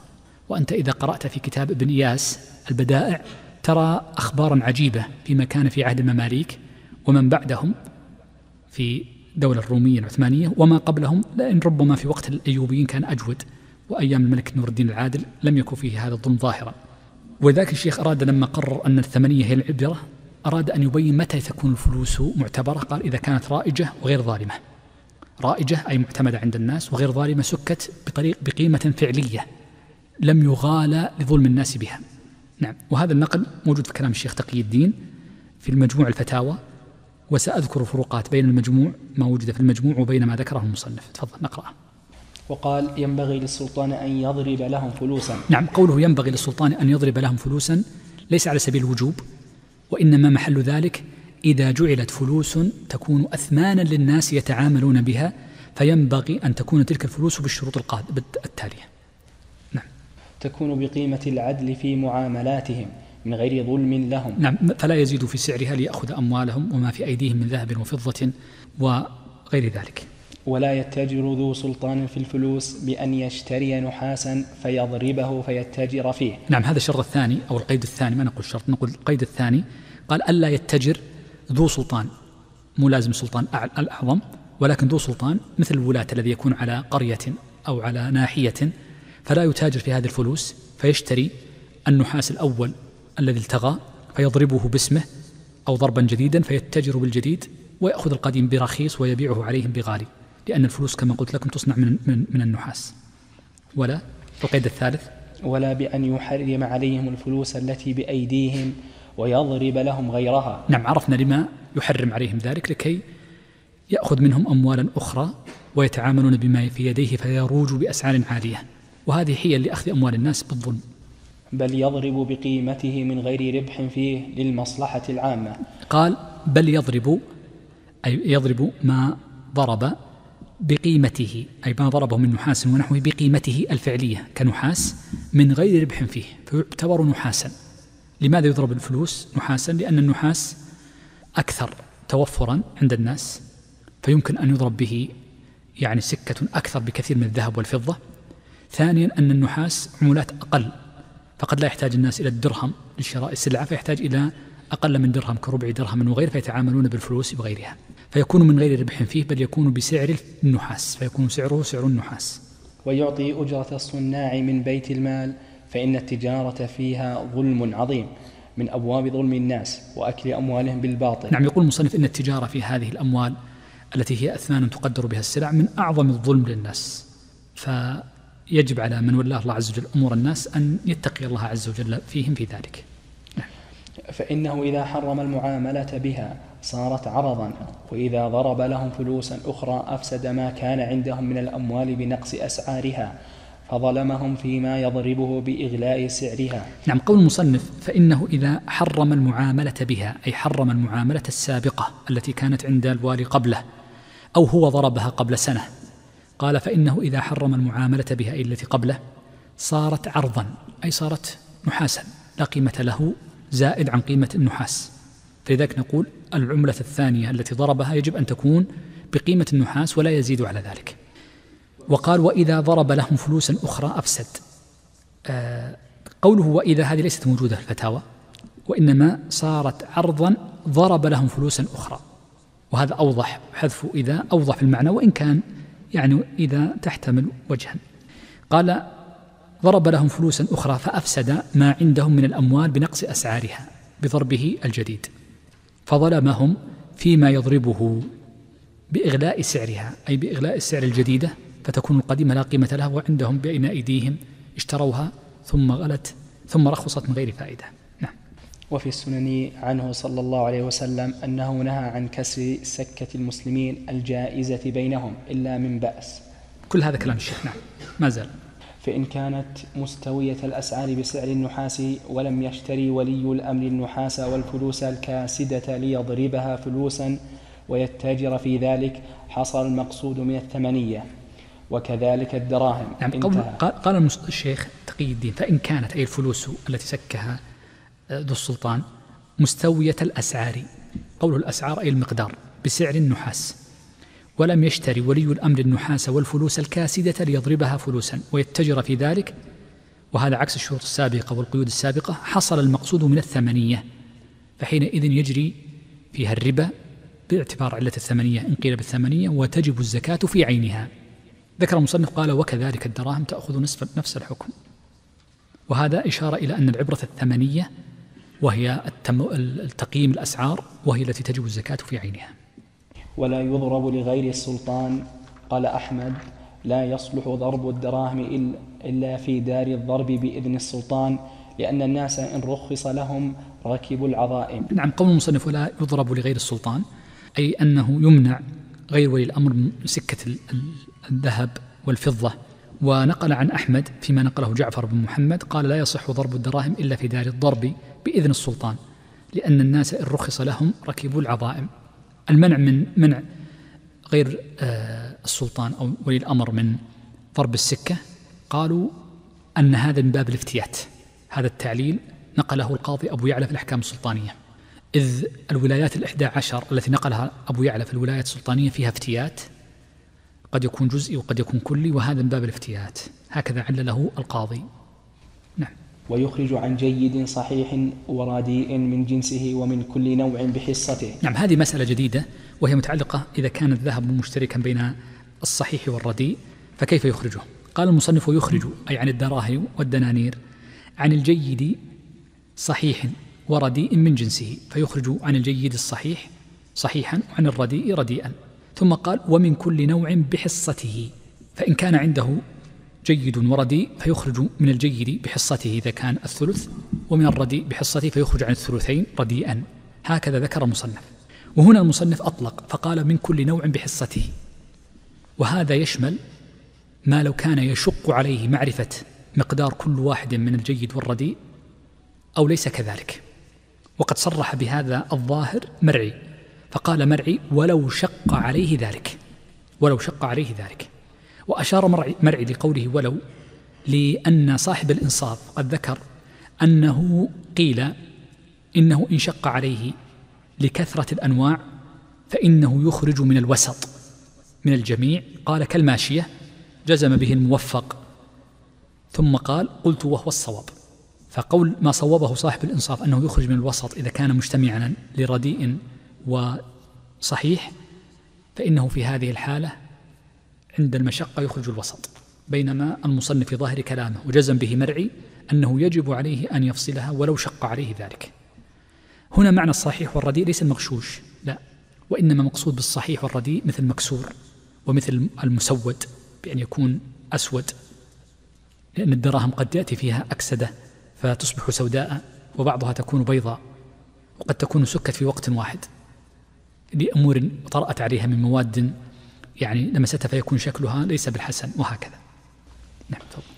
وإن أخرج بقدر الواجب من الأعلى كان أفضل. نعم هذا هو الأفضل لأنه إخراج الحق وزيادة. وإن أخرج عن هنا عكس السابقة وهو أن يخرج الرديء عن الأعلى. الأولى يخرج الأعلى عن الرديء. هنا يخرج الرديء عن الأعلى. قال وإن أخرج. وإن أخرج عن الأعلى مكسرا أو بهرجا. مكسرا هذه صورة من صور الرديء. أو بهرجا. بهرجا وهو الرديء يعود للثنتين. زاد قدر ما بينهما من الفضل وأجزأ. قال زاد ما بينهما أي ما بين قيمة الرديء والجيد من الفضل للجيد والأعلى وأجزأه حينئذ. نعم. وإن أخرج من الأعلى بقدر القيمة دون الوزن لم يجزئه. نعم. يقول المصنف وإن أخرج من الأعلى فقط بقدر القيمة دون الوزن لأنه سبق معنا أنه إن أخرج من الأعلى بالوزن كان هو الأفضل لكن لو أخرج بالقيمة ولم يخرج بالوزن لم يجزئه لأن الزكاة واجبة بالوزن. ويجزئ قليل القيمة عن كثيرها مع الوزن. نعم قوله ويجزئ قليل القيمة عن كثيرها أي كثير القيمة من نوعه مع الوزن أي مع اتفاق الوزن. هنا قوله مع الوزن أي مع اتفاقهما في الوزن. ويجزئ مغشوش عن جيد ومكسر عن صحيح وسود عن بيض مع الفضل بينهما. نعم قول المصنف يجزئ مغشوش عن جيد ومكسر عن صحيح وسود عن بيض مع الفضل بينهما. الحقيقة أن هذه شبيهة بالمسألة السابقة وهي قوله وإن أخرج عن الأعلى مكسرا آه زاد قدر ما بينهما من الفضل وأجزأ. مرت معنا قبل قليل. هي شبيهة بها بل بعض ما ذكره بنصه مذكور هناك. يقول المصنف ويجزئ مغشوش عن جيد لو أن عنده جيد وأخرج عنه مغشوشا. قال يصح ولكن يزيد الفضل فيزيد من المغشوش ما يبلغ به الوزن الذي يجب عن الجيد. ومثله إذا كان عنده مكسر وصحيح فيخرج من المكسر ما يكفي عن الفضل مع الفضل بينهما. ومثله سود عن بيض. السود الذي يظهر أن المراد بالسواد هو سواد اللون لأن الفضة كما ذكرت لكم قد تمر عليها أمور معينة كمواد كيماوية موجودة في في في الحياة وتصيبها بالسواد. ترى بعض الدراهم القديمة سوداء وترى بعضها بيضاء جميلة.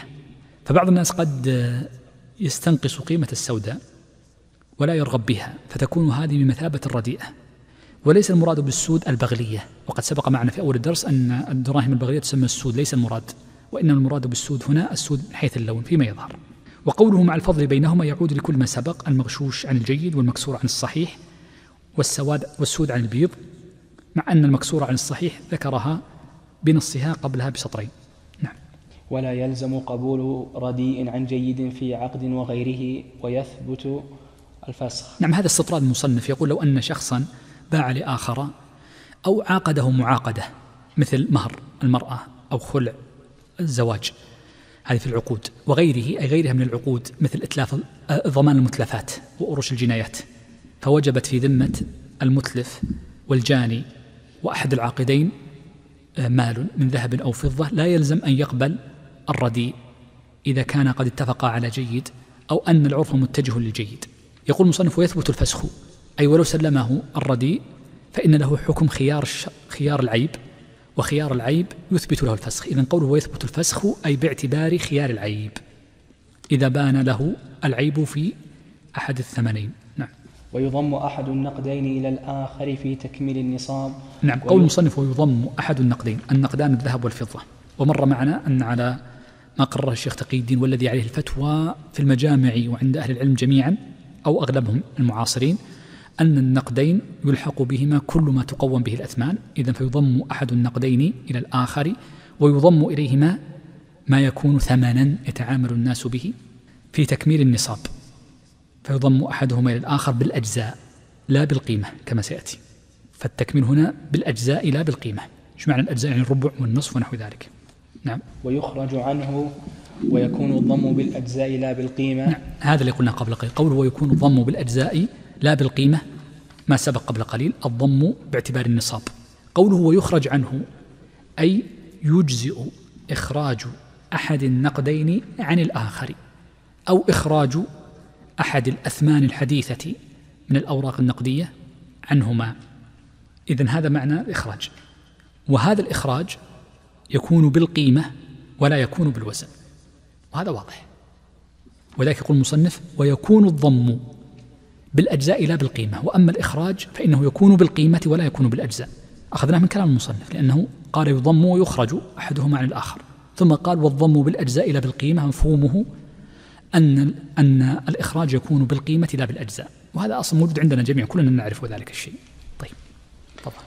فعشرة مثاقيل ذهبا نصف نصاب ومئة درهم نصف. نعم عشرة مثاقيل ذهبا نصف نصاب لأن النصاب عشرون مثقالا. ومئة درهم نصف أي نصف نصاب لأن النصاب الكامل في الفضة مئة درهم. فإذا ضما كمل النصاب. لأن الضم هنا بالأجزاء فهو نصف نصاب ونصف نصاب. لو كان الذهب خمسة عشر مثقالا والفضة خمسون درهما صح. لأن الأول ثلاثة أرباع نصاب والثاني ربع نصاب. ولذلك بعض الناس من الخطأ عندما يكون عند المرأة مثلا ذهبا وهذا الذهب لا يبلغ خمسة وثمانين جراما تقريبا فتزنه فإذا به أقل من ذلك. لكن عندها نقد. فنقول وحيث تقرر أن النقد يضم إلى الذهب والفضة في النصاب فإن في هذا الذهب الذي فيه الزكاة مما ليس حليا مباحا يكون فيه الزكاة. لأنه يضم الذهب إلى الفضة وإلى سائر الأمور الثمنية كالنقد. وإن بلغ أحدهما نصابا ضم إليه ما نقص عن الآخر. ما نقص عن النصاب من الآخر. فلو أن الثاني أقل من النصاب فإنه يضم مطلقا لأن الأول بلغ النصاب وهذا واضح. ولا يجزئ ولا يجزئ إخراج الفلوس عنهما. ممتاز. هذه اللي ذكرتها لكم في أول الدرس.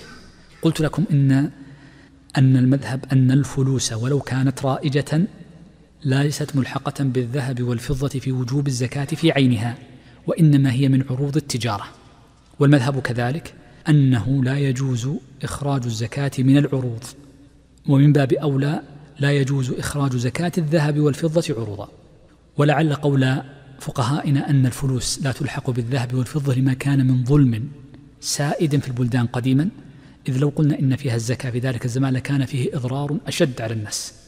أما وقد انضبطت الثمانية في زماننا عن طريق البنوك المركزية الموجودة في البلدان وانضبطت بالشروط التي ذكرها الشيخ تقي الدين وهي الآن موجودة في أغلب بلدان العالم فإنها تكون الثمنية واضحة جلية. وما تحذر حذر منه الفقهاء قديما قد انتفى في وقتنا. وحينئذ فنقول لا يجوز إخراج الفلوس منها باعتبار المعنى القديم ويجوز إخراجها بالأثمان الموجودة بين أيدينا من الأوراق النقدية وما في معناها. فلو أنه راج الآن الأموال تسمى الرقمية هذه وإن كان في تسميتها نظر مثل بيتكوين وغيرها فيجوز إخراج فتضم إليها في الزكاة في النصاب ويجوز إخراجها عنها. وتضم قيمة العروض إلى كل منهما وإليهما. قوله وتضم قيمة العروض المراد بالعروض هنا عروض التجارة لأن هي التي فيها الزكاة. أما عروض القنية فلا زكاة فيها. إلى كل منهما أي إلى كل من الذهب والفضة على سبيل انفراد إن كان موجودا. وإليهما فيجمع الذهب إلى الفضة ويجمع إليهما قيمة عروض التجارة. وسبق معنا أن الفلوس ليس فيها زكاة إلا أن تكون عروض تجارة ونقصد بالفلوس المتقدمة.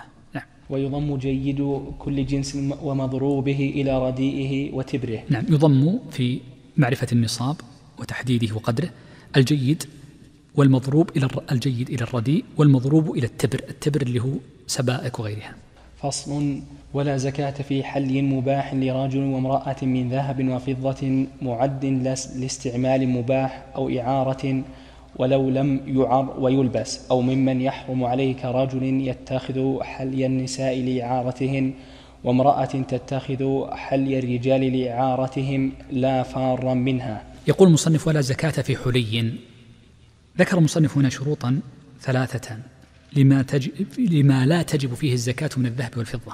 وهذه المسألة لعلي أقف عندها قليلا في دليلها على غير المعتاد. الاستدلال على أن الحلي لا زكاة فيه استدل أبو عبيد استدلال لطيف وهو ما جاء عن النبي صلى الله عليه وسلم أنه قال لا زكاة في الرقة حتى تبلغ عشرين فدل ذلك على أن الحلي لأن الرقة هو المضروب. فدل ذلك على أن الحلي لا زكاة فيه. وهذا لطيف وهذا يسمى مفهوم الصفة مفهوم الصفة وبعضهم يجعله مفهوم لقب. هذا الأمر الأول. الأمر الثاني استدل أحمد بقول الصحابة فقال في أحد المسائل قال فيه عن خمسة من الصحابة أن لا زكاة في الحلي ونقل عنه الأثرم أنه عن خمسة عشر صحابي أنه لا زكاة في الحلي. إذا استدلال بالنقل عن النبي صلى الله عليه وسلم وبالنقل عن أصحابه رضوان الله عليهم. الأمر الثالث أن القاعدة عند أهل العلم وهذه ستأتينا إن شاء الله في الدرس القادم بتوسع. أن الذهب والفضة الأصل فيهما المبادلة والثمنية فتجعل أثمانا. فإذا نقلت عن أصلها بأن جعلت استعمالا مباحا فإنه في هذه الحالة تخرج من الثمنية وتصبح وتصبح من عروض التجارة. وأما غيرها من الأشياء فالأصل فيها أنها قنية. عفوا أنا قلت فإذا فإذا خرجت عن أصلها بالصناعة وبالاستعمال المقصود فإنها تنتقل لكونها عروض قنية. تنتقل إلى كونها عروض قنية. أنا قلت عروض تجارة أظن. نعم هي تنتقل إلى كونها عروض قنية فلا زكاة فيها. وأما غيرها من الأشياء فالأصل فيها أنها عروض قنية. ولا تنتقل للتجارة إلا بشرط سيأتي درس في الدرس القادم. إذا عرفت ذلك فإن الحلي أو الذهب فإن الذهب والفضة لا تجب فيه الزكاة بثلاثة شروط. الشرط الأول أن يكون حليا أو حليا وجهان صحيحان. بمعنى أن يكون مصنوعا على صنع على صنعة لباس يلبس. الشرط الثاني أن يكون مباحا ويخرج ذلك المحرم. طبعا الأول يخرج التبر فإن التبر وجها واحدا فيه الزكاة. وقوله مباح يخرج لنا المحرم وسيأتي أمثلة للمحرم على الرجل والمرأة. من ذهب وفضة واضح. الشرط الثالث قوله معد لاستعمال. فمن شرط يجب أن يكون معدا للاستعمال وهي النية. إذا فنقلنا الذهب والفضة عن أصلهما الذي تجب فيه الزكاة وهي المبادلة بأمرين بالنية وهي الإعداد للاستعمال أو الإعارة وبالعمل وهو الصناعة بأن سبك على شكل حلي. فإذا وجد هذان القيدان وهو الصناعة المباحة والقيد الثاني النية والقصد بالإعداد للاستعمال أو الإعارة فإنه تسقط الزكاة. يقول المصنف في شرح القيد الثالث معد لاستعمال مباح أو إعارة. لماذا قال إعارة؟ لأنه قد جاء عن عائشة أنها كانت تعير الحولية لبنات أخوانها.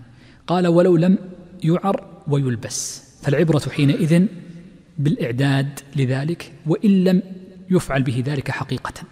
وعبر المصنف بقوله ولو إشارة للخلاف فقد نقل في الإنصاف رواية عن الإمام أحمد أنه تجب الزكاة في الحلي إذا لم يعر ولم يلبس. وأما إذا كان معدا فإنه حينئذ ما لم يلبس فتجب فيه الزكاة.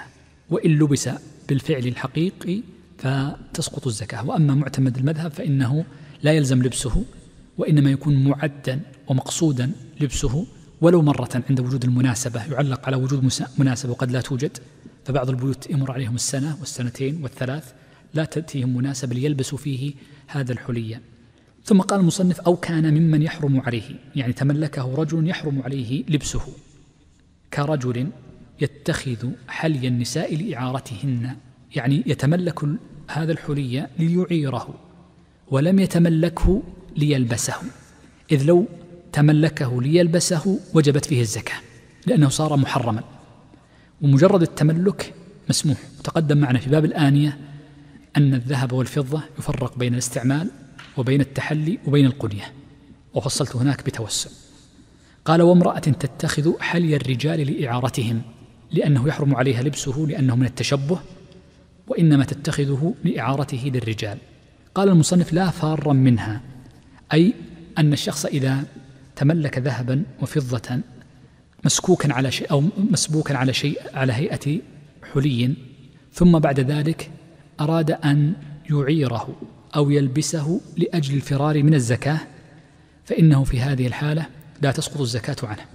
فمن اتخذ الحلي واستعمله أو أعاره لأجل الفرار من الزكاة فإنها لا تسقط عنه الزكاة. وتقدم معنا في الدرس الماضي والذي قبله القاعدة في النية وأن المذهب غلب الاحتياط في باب الحيل في هذه المسألة بعينها. ومر معنا في المستغلات. نعم. وإن كان الحلي ليتيم لا يلبسه فلوليه إعارته فإن فعل فلا زكاة وإلا ففيه الزكاة نصا. نعم. هذه المسألة فيها مسألتان. المسألة الأولى قوله وإن كان الحلي ليتيم يعني يملكه يتيم ذكرا أو أنثى لا يلبسه. فلوليه إعارته لوليه أن يقوم بإعارته فإذا أعاره فإنه في هذه الحالة لا تجب فيه الزكاة لأنه يكون, يكون معدل الإعارة. هذه الجملة فيها إشكالان. الإشكال الأول أن الفقهاء ومنهم المصنف ذكروا في كتاب العارية أن من شرط المعير أن يكون أهلا للتبرع والولي ليس أهلا للتبرع وإنما هو أهل للتصرف. فهذا يناقض ما هناك. أشار لهذا الملحظ ابن مفلح رحمه الله تعالى وذكر احتمالا في الإجابة عن ذلك ذكر ثلاث احتمالات أقوى هذه الاحتمالات أنه يستثنى من التبرع في الإعارية هناك هذه الصورة. فنقول يجوز للولي وإن لم يكن أهلا للتبرع أن يتبرع بإعارة حلي اليتيم أي من كان دون البلوغ اليتيم هنا بمعنى من كان دون البلوغ ولو كان أبوه وأمه أحياء فله أن يعير حليهم لأجل أن لا تجب الزكاة فيه فيكون استثناء من القاعدة الكلية في باب العارية وهذا الأمر الأول والإجابة عنه احتمال أورده ابن مفلح. الأمر الثاني أنه سبق معنا في الجملة السابقة أنه قال من أعار حليا لأجل أن يكون فارا من الزكاة وجبت عليه الزكاة. وهنا ظاهر سياقهم أنه إن كان الحلي ليتيم لا يلبسه فلوليه إعارته فظاهر العبارة أنه يكون من فار والأب فار أو الولي عفوا الولي أبا كان أو أما أو غيره فار من الزكاة. ذكر ابن العماد الشيخ عبد الحي لما ذكر هذه الجملة قال ظاهر كلامهم أن الولي ولو كان فارا من وجوب الزكاة فتصح عاريته ولا تجب الزكاة. فحينئذ تكون هذه الجملة فيها استثناء. الاستثناء من العارية في أهلية التبرع والاستثناء من وجوب. وجوب الزكاة على من أعار فرار فرارا من وجوب الزكاة فتكون فيها استثناء. وذكرت لكم لكم من ذكر المسألتين. ثم قال المصنف فإن فعل أي فإن فعل يعني الولي ذلك فلا زكاة. فلا زكاة على اليتيم ولا يخرجها. قال وإلا أي وإن لم يعره. وإن لم يعره ففيه الزكاة نصا. أي نص على ذلك الإمام أحمد. كذا نقله ابن مفلح. وذكر ابن مفرع ابن وذكر مرعي اتجاها فقال ويتجه أنه لا يجب الزكاة في حلي اليتيم وإن لم يعره الولي. قال يتجه لا. أي لا يجب الزكاة في حلي اليتيم وإن لم يعره الولي بل حيث كان معدا للاستعمال فلا زكاة فيه ولو لم يستعمل. فإن الولي يعده الاستعمال إذا كبر الصبي. أو يلبسه الصبي إذا جاءت مناسبة. فيكون مناسبا له فحينئذ لا تجب فيه الزكاة ما دام يكون معدا للاستعمال بأن يكون صالحا للاستعمال. ووافقه على اتجاهه عبد الحي فقال وهو متجه أي كلام مرئي. الحقيقة أن هذا ليس على إطلاقه لأن من الحلي ما لا يلبس مثل أن يكون الحلي ليتيم ذكر وهو لا يلبس الحلي الذهب وهكذا. ولذلك ربما يعني يحتاج إلى بعض القيود كلام مرعي ليقال بأن كلامه متجه من كل وجه. نعم. فأما الحلي المحرم كطوق الرجل طيب قبل أن نبدأ هذه الجملة الطويلة جدا ذكر فيها المصنف رحمه الله تعالى الشروط التي يتخلف فيها وجوب الزكاة. فأول الشروط في التخلف الزكاة آه، تخلف شرط الإباحة بأن يكون محرما. والمصنف كما هي عادة الفقهاء يأتون بجمل اعتراضية. يقول المصنف فأما الحلي المحرم جوابه أين؟ جوابه بعد سبعة أسطر ففيه الزكاة. إذا الحلي المحرم فيه الزكاة. طيب هنا ذكر المصنف المحرم وسكت. مفهومه أن المكروه لا يدخل في الحكم لأن من الأصوليين من يقول إن المكروه من صور المباح. ولكن ذكر الشيخ تقي الدين أن المكروه يكون كالمحرم فتكون فيه الزكاة. وسيأتي أمثلة للمكروه إن شاء الله بعد قليل. بدأ المصنف بذكر بعض أمثلة الحلي المحرم. نذكر أمثلتها. نعم. كطوق الرجل. نعم طوق الرجل يلبس الرجل طوقا على عنقه. لا يجوز ذلك. وسواره. وسواره يعني يلبس سوارة من ذهب أو فضة. لا يجوز. لا يجوز الرجل أن يلبس سوارا من ذهب أو فضة على المذهب. وكذلك الطوق يجعله على عنقه سواء من الذهب أو الفضة. لا يجوز مطلقا. ولو لم يكن فيه تشبه لا يجوز على المذهب. نعم. وخاتمه الذهب. نعم قوله الذهب يعود للخاتم فقط يحرم على الرجل خاتم الذهب. وأما خاتم الفضة فسيأتي جوازه. وحلية مراكب الحيوان. نعم. ولباس الخيل كاللجام والسروج وقلائد الكلاب وحلية نعم قلائد التي تربط بها الكلاب. وحلية الركاب والمرآة والمشط. المرآة التي ينظر فيها بعض الناس يحليها بذهب أو فضة لا يجوز. ولو كانت المرآة لامرأة لأنه لا يصدق عليها أنها حلية وإنما هي استخدام. ومر معنا أن الاستخدام أو الاستعمال محرم مطلقا على الرجل والمرأة. والمشط والمكحلة والميل. المشط معروف المشط معروف. والمكحلة والميل الفرق بينهما أن المكحلة هي التي يجعل فيها الكحل والميل هو الذي يجعل في وسطها. مكحلة بالضم والميل في وسطها. المذهب أن الميل ممنوع مطلقا. ومن أهل العلم من قال إن الميل إذا كان أصلح للعين بأن يكون من فضة أو ذهب جاز. وهذا الذي ذهب إليه أبو المعالي ابن المنجى وقد ذكرت هذا الخلاف لأنه سيأتي ما الذي يجوز وأن هذا ملحق بالقياس. والمسرجة والمروحة المسرجة في السراج والمروحة تروح والمشربة والمدهنة يجعل فيها الدهن والمشربة يجعل فيها الشراب. والمصعط يجعل فيها السعوط الذي يجعل في الأنف. وال والمجمرة المبخرة ما يجوز من فضة ولا من ذهب. ففيها الزكاة كل سنة. من جعل مبخرة من ذهب أو فضة ففيها الزكاة. والقنديل والآنية والملعقة. نعم كل هذه فيها زكاة في كل سنة إذا كانت ذهبا أو فضة لأنها محرمة. وحلية كتب العلم. نعم قول المصنف وحلية كتب العلم عبر المصنف بأنها حلية كتب العلم هي المحرمة. بينما بعض أهل العلم كالعسكري شيخ شيخ المصنف قال وحلية المصحف. وذلك أن تحلية المصحف فيه وجهان عند المتأخرين. هل تحليته محرمة أم أنها مكروهة؟ وذهب كثير من المتأخرين إلى أن تحلية المصحف مكروهة. فائدة معرفة ذلك أننا حيث قلنا قبل قليل أن المكروه تكون التحلية محرمة ففيه الزكاة فحينئذ كتب العلم والمصحف كلاهما فيه الزكاة لمن حل مصحفا أو تملك مصحفا محلا بذهب أو فضة.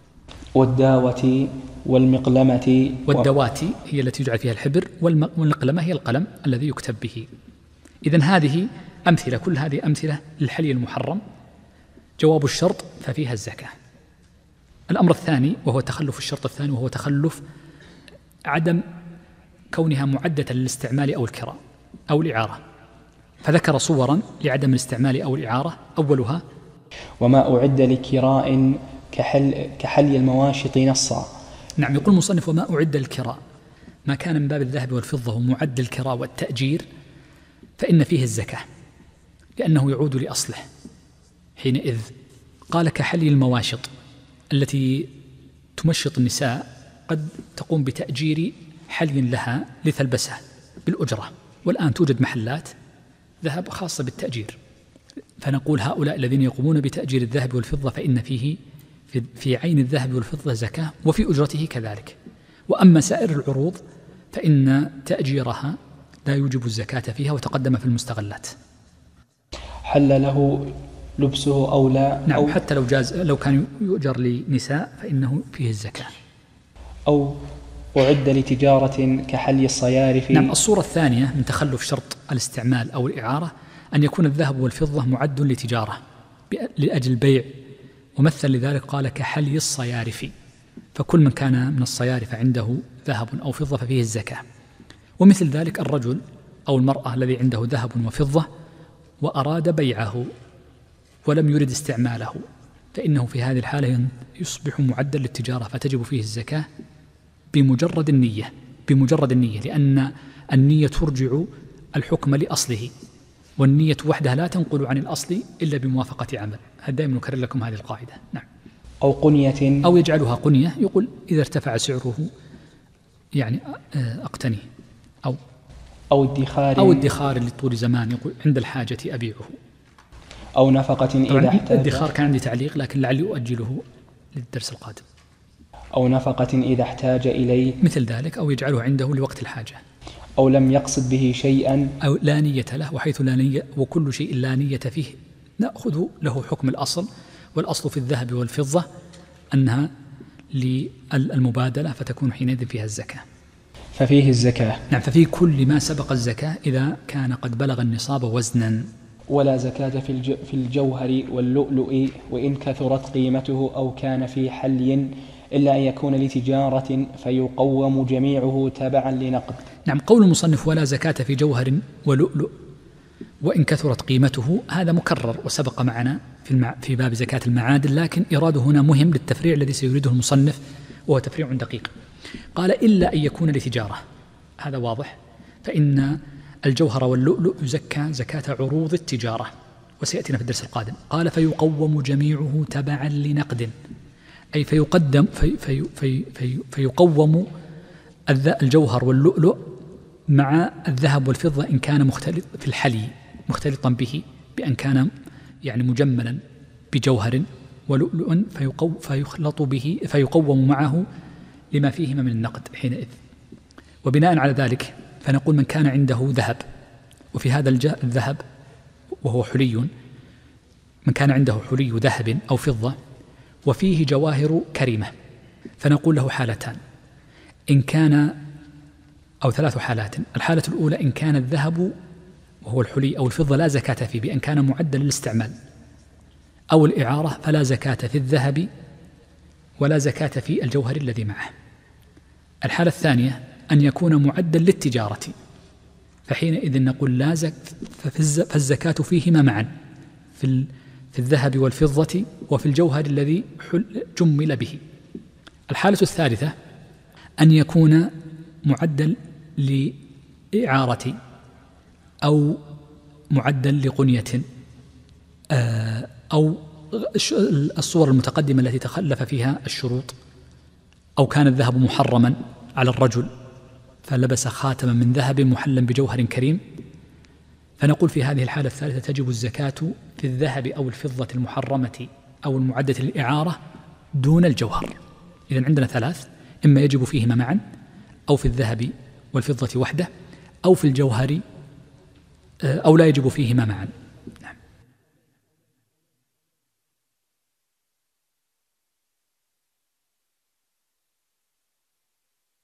والفلوس كعروض التجارة فيها زكاة القيمة. نعم. قوله فيها زكاة القيمة فلا ينظر للوزن وإنما ينظر للقيمة. وبناء على ذلك فإنه آه، لا يجزئ إخراج زكاتها منها لأنها عروض تجارة وعروض التجارة لا يجوز إخراجها منها. ولو قيل بهذا الأمر في النقد لأن قد يتبناه بعض الناس فيقول إن عروض التجارة أن النقد الأوراق المالية هي عروض تجارة لكن لا يوجب الزكاة. وقد وقفت على بحث لأحد المغاربة في هذا الموضوع فنقول حينئذ يلزمك على قول على غير قول أصحاب الإمام مالك ألا تخرج النقد الذي بيدك إذا كان معدا للتجارة إلا من الذهب والفضة. وهذا فيه مشقة ليست بالسهلة. قال المجد وإن كانت للنفقة فلا. أي فلا زكاة فيها وهذا الذي نقله عن المجد جزم به مرعي في الغاية. والاعتبار في نصاب الكل بوزنه إلا المباح المعد للتجارة ولو نقدا فالاعتبار بقيمته نصا فيقوم النقد بنقد آخر إن كان أحظ للفقراء أو نقص عن نصاب لأنه عرض. نعم بدأ يتكلم المصنف هنا عن الاعتبار في النصاب. آه فقال إن الاعتبار في النصاب بالوزن. بينما في الإخراج ينظر في كثير من الحالات إلى القيمة. والفرق بين النصاب وبين الإخراج أن النصاب ما نقص عنه فلا زكاة وما زاد وما بلغه وما زاد ففيه الزكاة. بينما في الإخراج فإن الإخراج فرع عن النصاب وسيأتي كيف أن الإخراج يكون بالقيمة. قال المصنف الاعتبار في نصاب أي إذا نقص عنه فلا زكاة والاعتبار في نصاب الكل. قال الكل أي سواء كان الذهب والفضة مباحا أو كان محرما بوزنه العبرة بالوزن ولو كانت قيمته أكثر من وزنه. قال إلا هذا استثناء المباح المعد للتجارة. قوله المباح معناه المباح الصنعة لأن هناك صنعة محرمة مثل صنعة الصنم وغيره المعد للتجارة. فإنه إذا كان مباح الصنعة كما عبر صاحب الإنصاف ومن تبعه وكذلك كان معدا للتجارة فإن العبرة في نصابه بالقيمة لا بوزنه. لأنه حينئذ يكون عرض تجارة. فلو أن شخصا آه، صنع حليا بطريقة معينة وكان ذلك الحلي أقل من النصاب لكنه بالصنعة زادت قيمته فكانت قيمته إذا قدر بالفضة أو قدر بالريالات سيبلغ النصاب. فحينئذ نقول فيه الزكاة وإن كان وزنه لا تجب فيه الزكاة. إذا نحن نتكلم الآن عن النصاب. قال إلا المباح أي مباح الصنعة المعد التجارة بهذين القيدين فالاعتبار بقيمته حيث بلغت قيمته نصابا ففيه الزكاة. قال المصنف ولو نقدا. عبارة ولو نقدا هذه قد يكون فيها إشكال. ملخصه لضيق الوقت أي ولو كان المباح المعد للتجارة نقدا سواء كان المباح حليا أو كان غير حلي. كيف يكون المعد التجارة نقدا؟ قد يجعل النقد وهي وهي الدراهم أو الدنانير وفي وقت تسمى الجنيهات على شكل حلي. هناك أساور يلبسها النساء. ما أدري موجودة الآن ترك أو تركت على شكل جنيهات ذهب يسمونها الجنيهات الجنيه السعودي. أو تجعل عقدا تسمى الرشارش شارج الذهب القديمة. كانت جنيهات إن كانكم تذكرون. هذه نقد إذا كان النقد رائجا قال أهل العلم لو كانت النقد جعل على هيئة مصنوع لأجل التجارة فإنه في هذه الحالة الاعتبار بقيمته لا بوزنه. وقول المصنف نصا أي نص عليه الإمام أحمد. هكذا عبر المصنف لكن ذكر في الإنصاف أن بعض أصحاب الإمام أحمد قال هذا ظاهر نقل إبراهيم بن الحارث والأثرم. وهناك فرق بين الظاهر وبين النص. قال المصنف فيقوم النقد بنقد آخر. يعني يقوم النقد الذي أعد للتجارة بأن صنع مثلا بالنقد الآخر. فالجنيهات التي جعلت كقلادة أو جعلت كأسورة للنساء لا نقومها في النصاب بالذهب وإنما نقومها بالفضة. وفي وقتنا نقومها بالريالات بأقلهما لأن الريالات الآن تقدر بأقل النصابين فتقدر بالفضة. ثم بعد ذلك نقول إن كان قد جعل إسورة قيمتها تعادل مئتي درهم من الفضة ففيها الزكاة. فدل على أنها نقصت كثير جدا لأنها أعدها للتجارة فأصبحت عروض تجارة. ولو كان هيئتها هيئة النقد. ولو كانت حينئذ هيئتها هيئة النقد. قول المصنف يقوم النقد بنقد آخر. هذه طريقة في التقويم ومعرفة النصاب وهي مستثناة من الصورة الكلية وهذا على سبيل الوجوب كما صرح به الخلوتي قال إن كان أحظ للفقراء أو نقص عن النصاب أي المصنوع نقص عن النصاب لأنه حينئذ يكون عرض تجارة. نعم. وإن انكسر الحلي وأمكن لبسه كانشقاقه ونحوه فهو كالصحيح وإن لم يمكن لبسه فإن لم يحتج في إصلاحه إلى سبك وتجديد صنعة ونوى إصلاحه فلا زكاة فيه. وإن نوى كسره أو لم ينوي شيئا ففيه الزكاة. وإن احتاج إلى تجديد صنعة زكاة. نعم هذه مسألة في الحلي المنكسر. متى تجب فيه الزكاة ومتى لا تجب؟ المصنف قسمها إلى حالتين وفصل في الحالة الثانية وذكر لها ثلاث صور. قال المصنف وإذا انكسر الحلي أو الحلي. أمر سهل. وإذا انكسر الحلي الحالة الأولى أمكن لبسه بأن يكون انكسر جزء منه لكن يمكن أن يلبس. مثل أن يكون العقد انكسر طرف منه لكن يمكن أن يلبس مع انكساره بأن يخفى الجانب المنكسر. قال كانشقاقه بأن يكون فيه انشق يسير فهو كالصحيح فإنه في هذه الحالة تجب فيه الزكاة ولا تسقط الزكاة فيه إلا في حالة واحدة ألا ينوي مالك ذلك الحلي ترك لبسه لأجل انشقاق فيكون سقوط الزكاة لا لأجل انكسار وإنما سقوط الزكاة لفوات الشرط وهو أنه يكون معدا للاستعمال أو العارية. الصورة الثانية وإن لم يمكن لبسه. فلا يمكن لبس الخاتم لأنه قد انكسر ولا يمكن لبس الأسورة أو العقد لأنه منكسر. إذا لم يمكن لبسه ذكر المصنف لها ثلاث صور وهذا التقسيم الذي ذكره المصنف تبع فيه صاحب الكافي بينما خالفه صاحب المنتهى. ومرعي وابن سلطان وغيرهم فأخذوا بقول سأورده خلاف بعد أن أذكر قول المصنف. المصنف ذكر له ثلاث حالات. الحالة الأولى إذا كان الحلي المنكسر لا يحتاج في إصلاحه إلى سبك وتجديد وفي نفس الوقت يكون قد نوى إصلاحه هو ينوي إصلاحه ولا يحتاج إلى سبك وإنما يحتاج إلى لحام مثلا أو إلى قطعة مثل أن يكون على سبيل المثال الحلي انقطع الشنكار الذي يربط فيه فيحتاج تغيير هذا الشيء. فنقول حينئذ وقد نوى مالك ذلك الحلي إصلاحه فلا زكاة فيه. هذه الحالة الأولى. الحالة الثانية إن لم ينوي إصلاحه وإنما نوى كسره. لا لا يحتاج إلى سبك لكن نوى كسره. لا يحتاج إلى سبك وتجديد صنعة لكنه نوى كسره أو لم ينوي شيئا. امرأة عندها حلي منكسر. قالت ما عندي نية. هل ستصلحينه؟ قالت لا لا نية لي. فنقول فيه الزكاة لأنه يرجع لأصله. ففيه الزكاة. الحالة الثالثة قال وإن احتاج إلى تجديد صنعة زكاة. إذا ثلاث حالات. أوجزها بسرعة. الحالة الأولى إذا كان يحتاج إلى سبك ففيه الزكاة مطلقا وهي الثالثة. الحالة الثانية أن لا يحتاج إلى سبك ومالكه نوى إصلاحه فلا زكاة فيه. لأن العبرة بالإعداد للاستعمال لا الاستعمال حقيقة. الصورة الثالثة أن لا يحتاج إلى سبك ولم ينوي إصلاحه إما لا نية له أو نوى كسره وإعادة سبكه. ففي هذه الحالة نقول فيه الزكاة. هذا رأي المصنف وقد تبع فيه آه، آه، الكافي وسبقهم إلى ذلك آه، القاضي وهو أيضا قول المجد. هناك قول آخر في هذه المسألة وهو ما ذكره صاحب المنتهى وتبعه عليه مرعي في الغاية وابن سلطان في المجموع وهو أن الكسر يمنع الاستعمال إذا لم يمكن لبسه ولو نوى إصلاح يعني الصورة التي قال إنه إذا نوى الإصلاح لا زكاة فيها صاحب المنتهى يقول ولو كان قد نوى الإصلاح ففيه الزكاة كذلك. أنا قلت قبل ليس فيه زكاة بل فيه الزكاة. نعم أن الكسر آه، يمنع الاستعمال مطلقا فيكون حينئذ فيه الزكاة مطلقا ولو نوى إصلاحه. فتصبح الحالات الثلاث كلها فيها الزكاة. هذا رأي المنتهى والغاية والمجموع لابن سلطان. نعم. والاعتبار في الإخراج من الحلي المحرم بوزنه. نعم تقدم معنا أن الاعتبار في النصاب في الحلي المباح والمحرم بالوزن. وأما في الإخراج ما الذي يخرج؟ فقال أولا إن كان الحلي محرما فإنه العبرة بوزنه لأن الصنعة لا قيمة لها.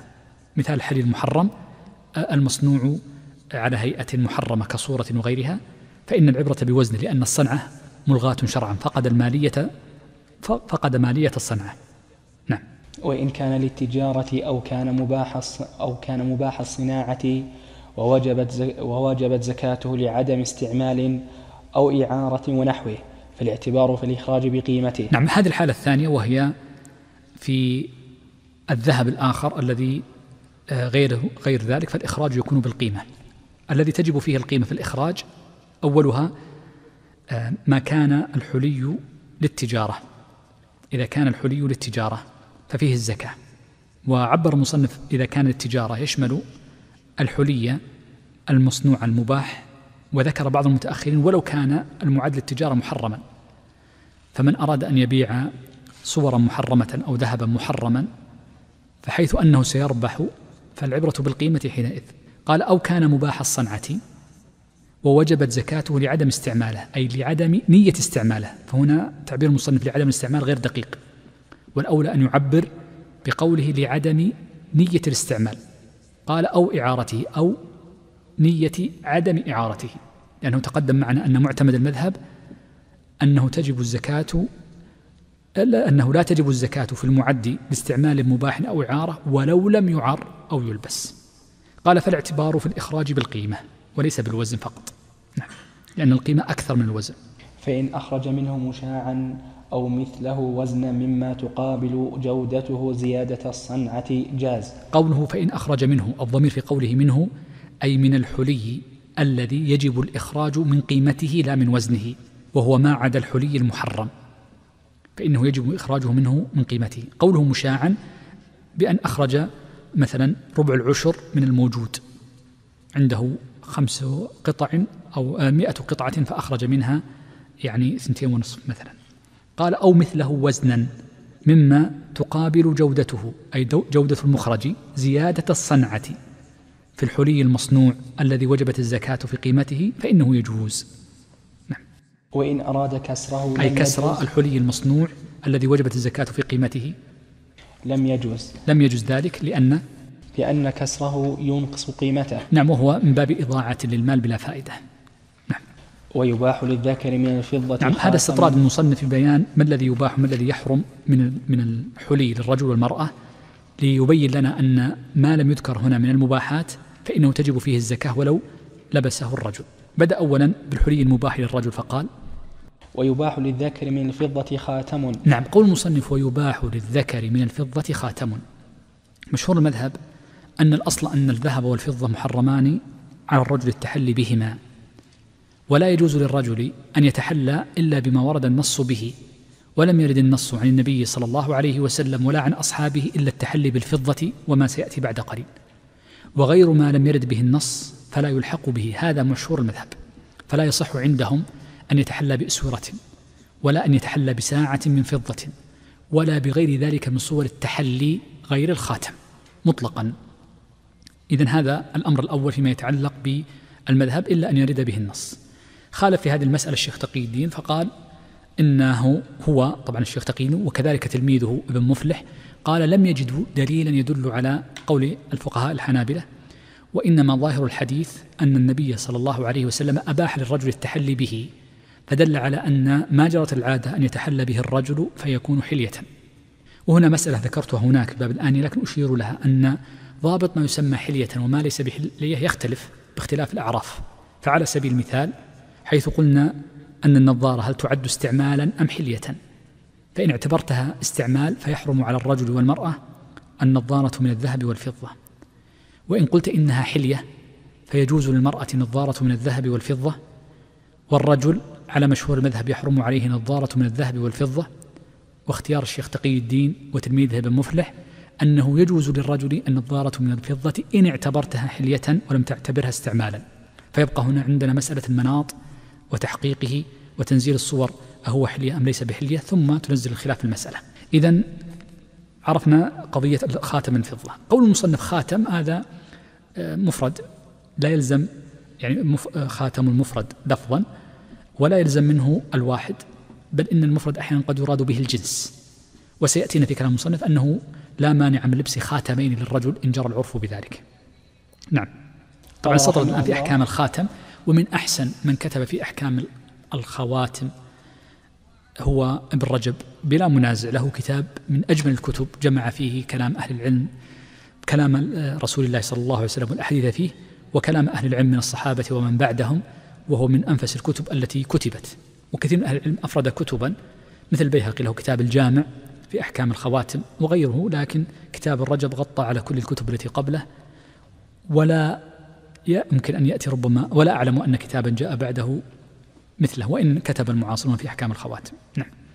قال رحمه الله ولبسه في خنصر يسار أفضل. هذا اللي عليه عامة المحدثين أن اللبس إنما يكون في اليسار لا في اليمين وحكموا على الحديث التي وردت أنه لبس عليه الصلاة والسلام الخاتم في اليمين أنه بالنكار. ويجعل فصه مما يلي كفه. يعني قوله ويجعل فصه. طبعا قوله ولبسه في خنصر هذا يدلنا على مسألة وهو أن لبس الخاتم مباح لكن إذا لبسه فالمستحب أن يجعله في إصبعه الخنصر الخنصر هذا وأن يكون في يده اليسرى لليمنى. إذا ابتداء اللبس مباح وليس سنة. لبس الخواتم المعتمد عند فقهائنا وهو ظاهر السنة أنه مباح وليس بسنة. لكن من لبسه فالسنة له أن يجعله في الخنصر وأن يجعله في يده اليسرى لليمنى إذا هذه سنة إضافية وتبعية وليست سنة ابتداء. عرفنا السنة الأولى وهو أن يجعله في الخنصر الثاني أن يجعله في اليد اليسرى. السنة الثالثة قال ويجعل فصه مما يلي كفه أي ندبا واستحبابا كما عبر المصنف في حاشيته. لفعل النبي صلى الله عليه وسلم ذلك. ولا بأس بجعله مثقالا أو أكثر. نعم قول المصنف ولا بأس بجعله مثقالا. عرفنا أن المثقال يعادل تقريبا أربعة ونصف. أربعة وربع تقريبا نعم أربعة وربع تقريبا آه وأربعة ونصف في غير الذهب. غير الذهب يكون أربعة ونصف كما ذكرت لكم وهو الرجل لا يلبس إلا فضة فحينئذ يجب أن يكون أربعة أربع جرامات ونصف. قول المصنف ولا بأس بمثقال أو أكثر. روي فيه خبر أن أن الخاتم يمنع أو يكره أن يكون أكثر من ذلك. المذهب أن الأفضل أن يكون الخاتم أقل من مثقال كما صرح به مرعي. مرعي جزم بذلك أنه يسن أن يكون أقل من مثقال فإن بلغ مثقال أو أكثر جاز. ذكر بالرجب أن قياس من منع من أصحاب أحمد النساء بلبس ما زاد عن ألف مثقال كما سيأتي أنه يمنع من لبس الرجل الخاتم إذا زاد عن مثقال قال بل هو أولى لورود النص به. ولكن المشهور عند المتأخرين أنه ليس مكروها وإنما مباح لكنه خلاف الأولى وإنما الأولى أن ينقص عن مثقال فلا يكون الخاتم وزنه أربع جرامات ونصف بل يكون أقل من ذلك. ونحن قدرناها بالنصف لأن قلنا المثقال في غير الذهب تقريبا أربع ونصف. نعم. ما لم يخرج عن العادة. نعم ما لم يخرج عن العادة. هذا قيد مهم سيتكرر معنا بإذن الله عز وجل. وجعل فصه منه أو من غيره ولو من ذهب. نعم يجوز أن يجعل فصه منه ويجوز أن يجعل فصه من غيره أي من غيره بيجعل حجرا أو غيره. قال المصنف ولو ولو من ذهب إن كان يسيرا. طيب هذه المسألة الحقيقة أن المصنف جزم بأنه يجوز أن يكون الفص من ذهب إن كان الذهب يسيرا. إن كان الذهب يسيرا. هذا الكلام الذي ذكره المصنف معناه أن الفص إذا كان يسيرا من ذهب فإنه يباح. وهذا القول الذي ذكره المصنف جزم به الشيخ تقي الدين وإليه مال بن رجب في كتابه أحكام الخواتم وقال صاحب الإنصاف إنه الصواب وأن هذا القول هو المذهب على ما اصطلحنا عليه وممن جزم به من المتأخرين مرعي وبن قايد في حاشيته عن المنتهى وهناك في المسألة وجه آخر في المذهب أنه لا يجوز جعل الفاص من ذهب ولو كان يسيرا للرجل وهو الذي جزم به صاحب المنتهى في شرحه أي شرح المنتهى. إذن فيها وجهان وقد أطلق هذين الوجهين المصنف في حاشيته على التنقيح. إذا عرفت ذلك وأن ما مشى عليه صاحب الإنصاف هو جوازه فإن من شرطه أن يكون الذهب يسيرا لأنه قد جاء عن بعض الصحابة ذلك وذلك أن الخاتم ربما يكون من جهة الفص يؤذي إصبع الرجل فيجعلون أطرافه لحاما وما يمسك به الفص من ذهب. الذي يعرف الخواتم وخاصة الصنعة القديمة ليست الحديث الآن أدق تختلف. بعض الجوهر أو الحجر الذي يجعل على الخاتم إذا لم يكن من الذهب الذي يمسكه فإنه يسقط. فجاء عن بعض الصحابة والتابعين أنه يجوز أن يكون ما يمسكه وهو ما يمسك به الفص ويسمى فصا من ذهب إن كان يسيرا. القيد أن يكون يسير. إذا عرفت أن الخاتم يستحب أن يكون أربع جرامات فاليسير ربما لا يصل إلى أقل من عشر جرام واحد فيكون غير ظاهر. فالمقصود منه أنه يسير ولحاجة وهذا هو مرادهم نعرفه بالآثار التي وردت عن الصحابة. أطلت فيها بعض الشيء لأني وجدت أن بعض الناس ربما يأخذ الكلام على إطلاقه وينقل عن بعض السلف جواز لبس خاتم الذهب للرجل. وليس هذا كذلك وإنما ما جاء عن السلف هو مذهب أحمد أنه يجوز جعل فص الخاتم أو جزء منه ليس كامل الفص من ذهب إن كان يسيرا. إذ لو كان الفص كله لكان كثيرا ليس يسيرا. إذ الفص كما تعلمون هو أكثر الخاتم وليس أقله. فهم يقصدون أن يجعل في فصه من الذهب لاستمساك حجر أو لكي لا يؤذي اليد في حال العرق والماء وغيره. قال رحمه الله ويكره لبسه في سبابة ووسطى. نعم لورود أثر في ذلك عند أهل السنن أنه يكره في السبابة وفي الوسطى. وظاهره لا يكره في الإبهام والبنصر. نعم وظاهر كلامهم لأنهم سكتوا عن الباقي وهذا كلام ابن مفلح لا يكره في الإبهام ولا يكره أيضا في البنصر وإنما يكون مباحا. إذن التختم ثلاث درجات لمن لبس الخاتم ولا فرق بين الرجل والمرأة في ظاهر كلامهم وإن كان في رواية المذهب التفريق. من لبس خاتم من رجل وامرأة فمستحب أن يلبسه في الخنصر ويكره أن يلبسه في السبابة أو يلبسه في الوسطى وليس محرما. الأمر الثالث يباح أن يلبسه في البنصر وفي الإبهام. إذا فالأصابع بعضها مكروه وبعضها مباح وبعضها مسنون. نعم. ويكره أن يكتب عليه ذكر الله من قرآن أو غيره. نعم يكره لأن هذا قد يؤدي لامتهانه. ويحرم أن ينقش عليه صورة حيوان ويحرم لبسه وهي عليه. قوله ويحرم أن ينقش عليه أو ينقش عليه صورة حيوان. آه، هنا النسخة التي بين أيدينا يحرم وهي التي شرحها صاحب الكشاف. لكن ذكر الخلوة في حاشيته أن النسخة التي بين يديه ويكره ثم استشكل ذلك فقال إنه مخالف لما ذكره المصنف في أول الباب أنه يحرم الصورة. ثم صوب نسخة شيخه منصور وهي التي بين أيدينا أنه يحرم. قال ويحرم أن ينقش عليها أو ينقش عليها صورة حيوان. ويحرم لبس الخاتم وهي أي الصورة عليه بل لا بد من طمسها. ويباح التختم بالعقيق. نعم قوله ويباح التختم بالعقيق هذا الذي جزم به المصنف قال ابن رجب وهو ظاهر كلام أكثر الأصحاب.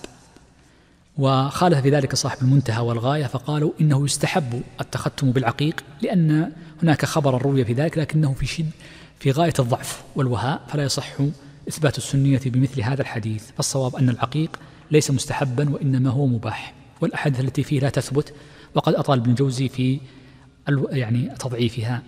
نعم. ويكره لرجل وامرأة خاتم حديد وصفر ونحاس ورصاص وكذا دملوج. نعم لأنه جاء أن هذا حلية أهل النار الحديد ومثله ما بعده. الدملوج هو ما يجعل على العضد. الذراع فوقه العضد فبعض الناس قد يجعل على عضده حديدة يربط عليها.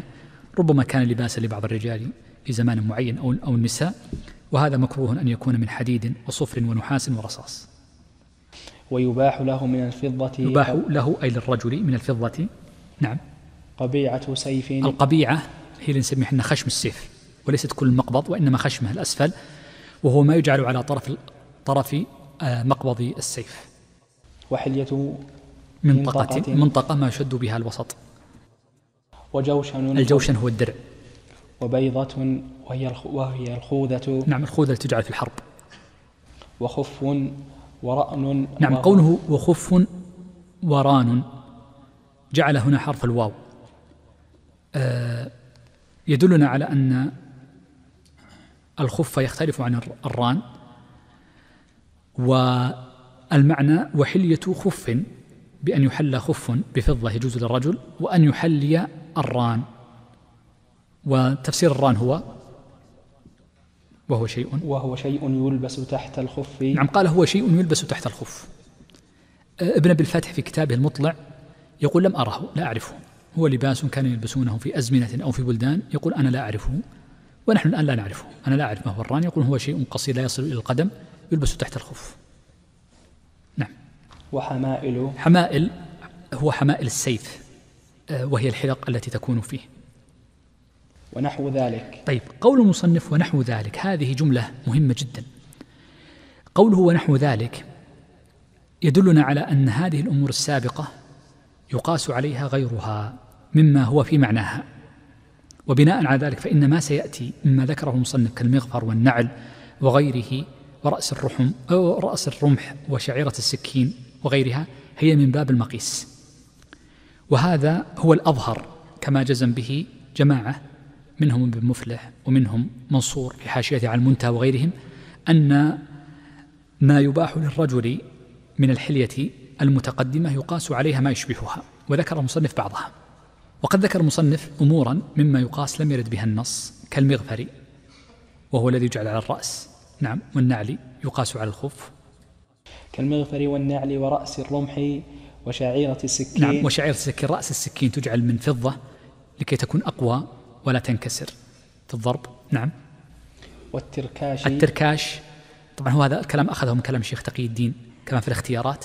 وقد ذكر الشيخ تقي الدين في رسالته في ألبسة النبي صلى الله عليه وسلم أن التركاش هي الكنانة التي توضع فيها النشاب فيكون من فضة أقوى لها والكلاليب والكلاليب بسير ونحو نعم قوله والكلاليب الكلاليب هي الشناكير الشنكار نسميه الشنكار واضح الشنكار. الكلاليب هنا النسخة التي بين أيدينا وكلاليب بسير يعني السير هو الحزام فيجعل فيها كلاليب تربطها وتمسكها. فالمصنف نقل عن وجزم بما ذكره الشيخ تقي الدين أن الكلاليب التي تجعل في السير تجوز ومثلها أيضا الكلاليب التي تكون في العمامة. قد تثبت العمامة بالشنكار أو الكلباب أو تسميه ما شئت يعني شيء يسير قد يكون من فضة ليمسكه. فهنا قوله كلاليب بسير وكذا في عمامة وغيرها لربطه. لكن الحقيقة عندما نرجع أيضا هذا محتمل ومقبول لكن في احتمال آخر فإن عبارة الشيخ تقي الدين فيما نقلها آه في فيما نقلها ابن, ابن, ابن اللحام وفي صاحب المبدع وغيرهم أنه عبر والكلاليب لأنه يسير تابع. فجعل بدل كلمة بسير لأنه يسير. فجعلها لأنه يسير فدل على العبرة بالقلة. آه هذه المسألة حقيقة الشيخ تقي الدين تبعه المصنف. يتوسعون في جواز استعمال الرجل للفضة إذا كان يسيرا. والأمثلة التي أوردها المصنف الحقيقة مناسبة لاختيار الشيخ تقي الدين أن الفضة جائزة للرجل إذا كانت حلية معتادة وهو أنسب من قاعدة المذهب. ولذلك فإن الأمثلة التي أوردها المصنف وإن تبعه عليها منصور إلا أن جمعا من المتأخرين لم يوردها. وأذكر لكم هنا فائدة أو أو مسألة مما جد وهي قضية أن عندنا وخاصة في بعض المناطق الجنوبية من المملكة قد يجعلون الخنجر من فضة فهل يجوز للرجل أن أن يجعل خنجره من فضة أم لا؟ جاء في بعض الحواشي أن بعض أصحاب الإمام أحمد المتأخرين بعد الألف بيسير اسمه عبد الله بن داود الحنبلي من أهل الشام قال وأما الخنجر ونحوه مثل الشبرية هكذا قال الشبرية. قال فلم أر فيهما نقلا أي عن أصحاب الإمام أحمد. وكنت دائما أقرر أن تحليتهما أن تحليتهما بالفضة مباحة. أخذها مما سبق من قول المصنف ونحو ذلك. وأنه أولى بالقياس على المناطق من الجوشن وما عطف عليه في كلام المصنف. قال ثم عرضت ذلك على الشيخ محمد. أنا لا أدري من الشيخ محمد الذي نقل عنه. فقال هو الحق لا إشكال فيه.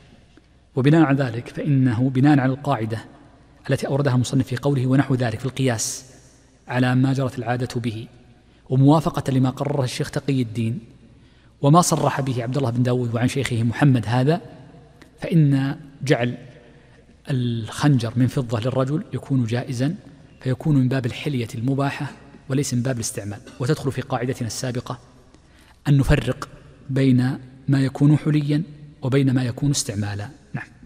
هناك أمثلة لكن ضاق الوقت عنها. تفضل شيخ. ولو اتخذ لنفسه عدة خواتيم أو مناطق فالأظهر جوازه وعدم زكاته وجواز لبس خاتمين فأكثر جميعا. نعم. قول المصنف ولو اتخذ لنفسه عدة خواتم أو مناطق يعني يربط يشد بها وسطه فالأظهر عبر المصنف هنا بقوله فالأظهر وأخذها من قول صاحب الفروع ظاهر كلامهم أو كلام جماعة أنه لا زكاة فيها. فأخذها من كلام صاحب الفروع. قال فالأظهر جوازه وعدم زكاته. فالأظهر يعود للجملتين جوازه وعدم زكاته والمراد بالأظهر هنا ليس ظاهر الكلام وإنما آه نعم ومراده بالأظهر أي ظاهر الكلام كما عبر وصرح بذلك ابن مفلح. ثم قال المصنف وجواز لبس خاتمين فأكثر. أي, أي والأظهر وظاهر كلام جماعة أنه يجوز لبس خاتمين فأكثر لأنهم لم يقيدوه بخاتم واحد. وهذا الذي ذكره المصنف هو ظاهر كلام صاحب الفروع في المسألة الأخيرة لكن يجب أن نقيده بقيد أورده المصنف في أول هذا الفصل وهو أن لا يخرج عدد الخواتم أو لبس الخواتم عن العادة كما يقيد به في المرأة كما سيأتي. وقيد به الرجل كذلك لأنه قال في أول كلامه ويباح للذكر خاتم ما لم يخرج عن عادة. ويحرم تحلية مسجد ومحراب بنقد. بنقد أي بذهب أو فضة. ولو وقف على مسجد ونحوه قنديل من ذهب أو فضة لم يصح ويحرم. يحرم لم يصح الوقف ويحرم. وقال الموفق هو بمنزلة الصدقة فيكسر ويصرف في مصلحة المسجد وعمارته. نعم هناك وجهان مذهب أنه يحرم فيكون حينئذ تبرا موقوفا على شيء آخر ولكن توجيه الموفق أجود. فقال وقال الموفق هو بمنزلة الصدقة فلا يكون وقفا فيكسر ويصرف في مصلحة المسجد وعمارته. ويحرم تمويه سقف وحائط بذهب أو فضة وتجب إزالته وزكاته. نعم إن كان يعني يبلغ نصابا بنفسه أو بضمه لغيره ومر معنا ما معنى التمويه.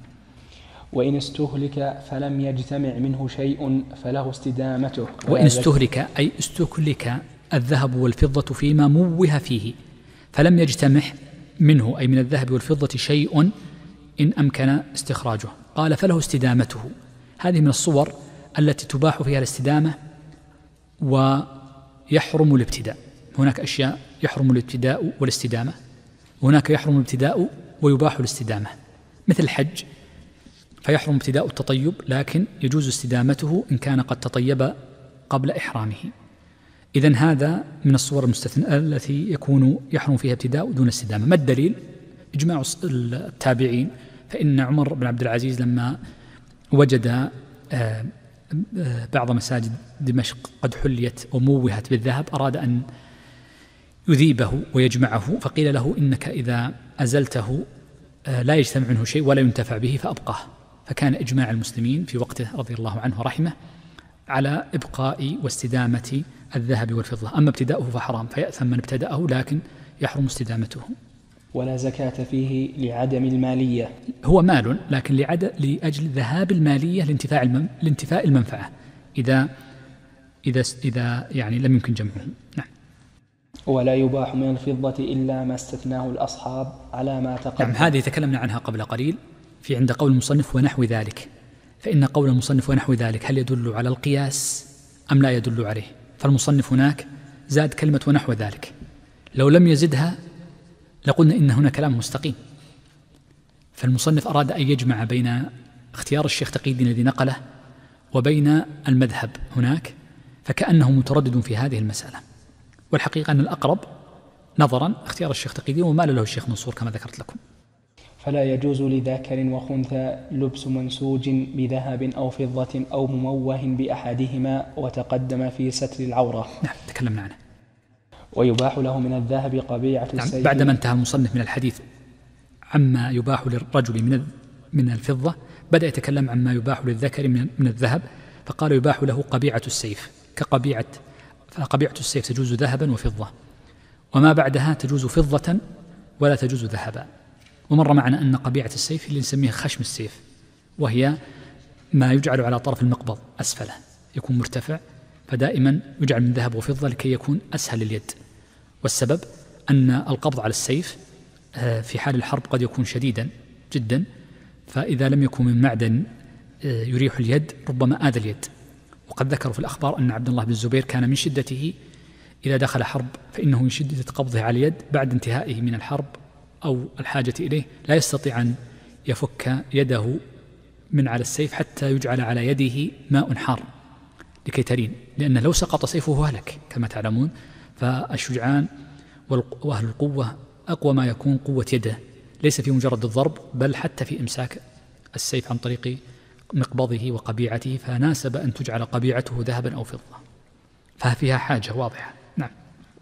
وذكر ابن عقيل أن قبيعة سيف النبي عليه الصلاة والسلام ثمانية مثاقيل. نعم هكذا ذكر ابن عقيل ولا أدري يعني من أين بحثت ولا شك بحث قاصر لم أجد لها لم أجدها مسندة. نعم. وما دعت إليه ضرورة كأنف وربط سن أو أسنان به. نعم يجوز من ذهب ولو وجد فضة. ولو وجد فضة فيجوز له الذهب. ثم بدأ يتكلم المصنف بعد ذلك عما يباح للنساء من الذهب والفضة فقال ويباح للنساء من الذهب والفضة ما جرت عادتهن بلبسه. نعم. قول المصنف ما جرت عادتهن بلبسه.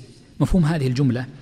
أن ما لم تجر العادة بلبسه فلا يباح لهن لبسه فيكون محرما وحينئذ ففيه الزكاة. لأن ما لم تجر العادة بلبسه لا جمال فيه. ومثلوا لذلك قالوا كالنعل المذهبة لم تجر العادة بلبسه ففيه الزكاة. ومثله أيضا الثوب المموه وغيره. فإنه كذلك محرم وفيه الزكاة. ثم ذكر المصنف أمثلة لما جرت العادة بلبسه فقال كطوق وخلخال وسوار. نعم الطوق على النحر والخلخال على الساق والسوار على الذراع ودمل ودملج. ودملج يلبس على العضد وقرط على الأذن وعقد. عقد يكون أصغر من الطوق ويكون على الرقبة. وهي القلادة وتا وتاج. تاج واضح فوق الرأس. وخاتم. على الإصبع. وما في المخانق والمقالد من حرائز وتعاويذ وأكر نعم قال المخانق والمخنق اللي هو الرقبة قد يعلق بعض الناس على رقبته ويقلد حرزا وتعاويذ يجعلها من ذهب أو فضة. يقول المصنف إنها تجوز. وتقدم الحديث أظن قبل أظن هنا أو في درس آخر نسيت حكم تعليق الرقى والتمائم. وما أشبه ذلك. نعم وما أشبه ذلك. قل أو كثر ما دام أنه جرت العادة به. ولو زاد على ألف مثقال. نعم عبر المصنف بقوله ولو إشارة لخلاف فإن الشيخ أبا عبد الله بن حامد شيخ القاضي بيعلى يقول إنه إن بلغ حلي المرأة ألف مثقال حرم عليها لبسه فحينئذ فيه الزكاة. وعرفنا أن المثقال من الذهب تقريبا أربعة وربع تقريبا فألف مثقال يكون كم؟ أربعة آلاف يعني أربعة كيلو ربع. تلبسه يحرم ذلك. ولكن الأولى نقول الأولى عدم لبسه. وإن كان ابن حامد المذهب يجوز لكن الأولى عدم لبسه. نعم. حتى دراهم ودنانير معراة. نعم. يقول حتى أي يجوز تحلية المرأة بالدراهم والدنانير المعلاه المعراه. وعبر المصنف بحتى إشارة لخلاف كذلك لأن الوجه الثاني أنه لا يجوز آه، آه، أن تتحلى المرأة بالدراهم والدنانير المعراه وغيرها. وهذان الوجهان ذكرهما في الفروع وأطلق الخلاف أطلق الخلاف في المسألة. قوله دراهم ودنانير معراه أي أن تلبس المرأة دراهم ودنانير وتجعل في عروة وتتحلى بها فتجعلها في جيدها أو على ذراعها. أو في مرسلة. قال أو مرسلة يعني تجعل في قلادة طويلة تقع على صدرها. مرسلة فتكون بعيدة مربوطة بعقد. طويل. ويباح للرجل والمرأة التحلي بالجوهر ونحوه. ونحوه من مثل الآن يسمون الأكسسوارات من بلاستيك ومن غيرها من المعا من من الأشياء التي يصنع بها. ولو في حلي ولا زكاة فيه إلا أن يعد للكراء أو التجارة كما تقدم.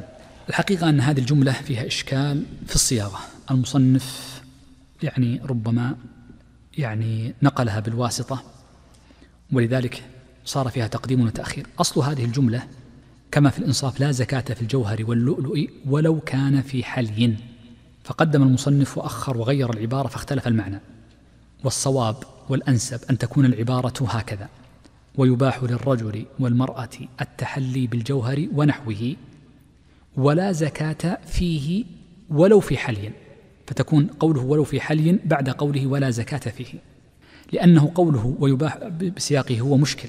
فإن قوله ويباح للرجل والمرأة التحلي بالجوهر ونحوه ولو في حلي يعني هو يباح التحلي كاملا ويباح ولو كان في حلي وليس في خلاف إذا كان في حلي ولو عادة تذكر للخلاف هذا من جهة. ثم نحتاج بعد ذلك لتقدير في الجملة التي بعد في قول ولا زكاة فيه إلا أن يعد فنقول إلا أن يعد الحلي الذي فيه جوهر ونحوه لأنه إذا كان مفردا فإنه لا زكاة فيه فالإكسسوارات المفردة لا زكاة فيها على سبيل الانفراد وإن كان بعضهم حكى فيه وجها آخر. لكن الصواب أن المفرد لا زكاة فيه إذا كان من غير الجوهر. إذا الأولى أن تعدل الجملة لكي تكون فيها كذلك. معنى هذه الجملة أن الرجل والمرأة يباح لهم التحلي بالجواهر وبغيرها مثل الأظفار وغيرها ولا زكاة في ذلك الجوهر. ولو كان ذلك الجوهر مجعولا في حلي من ذهب أو فضة بأن كان مختلطا به فيكون الذهب مثل العقد للمرأة أو الخاتم للرجل آه، فيه جوهر فيكون مختلطا به بأن يجعل مجمل به. فقال إلا فلا تجب الزكاة في ذلك الجوهر إلا أن يعد للكراء أي إلا أن يعد الحلي الذي فيه جوهر للكراء أو التجارة.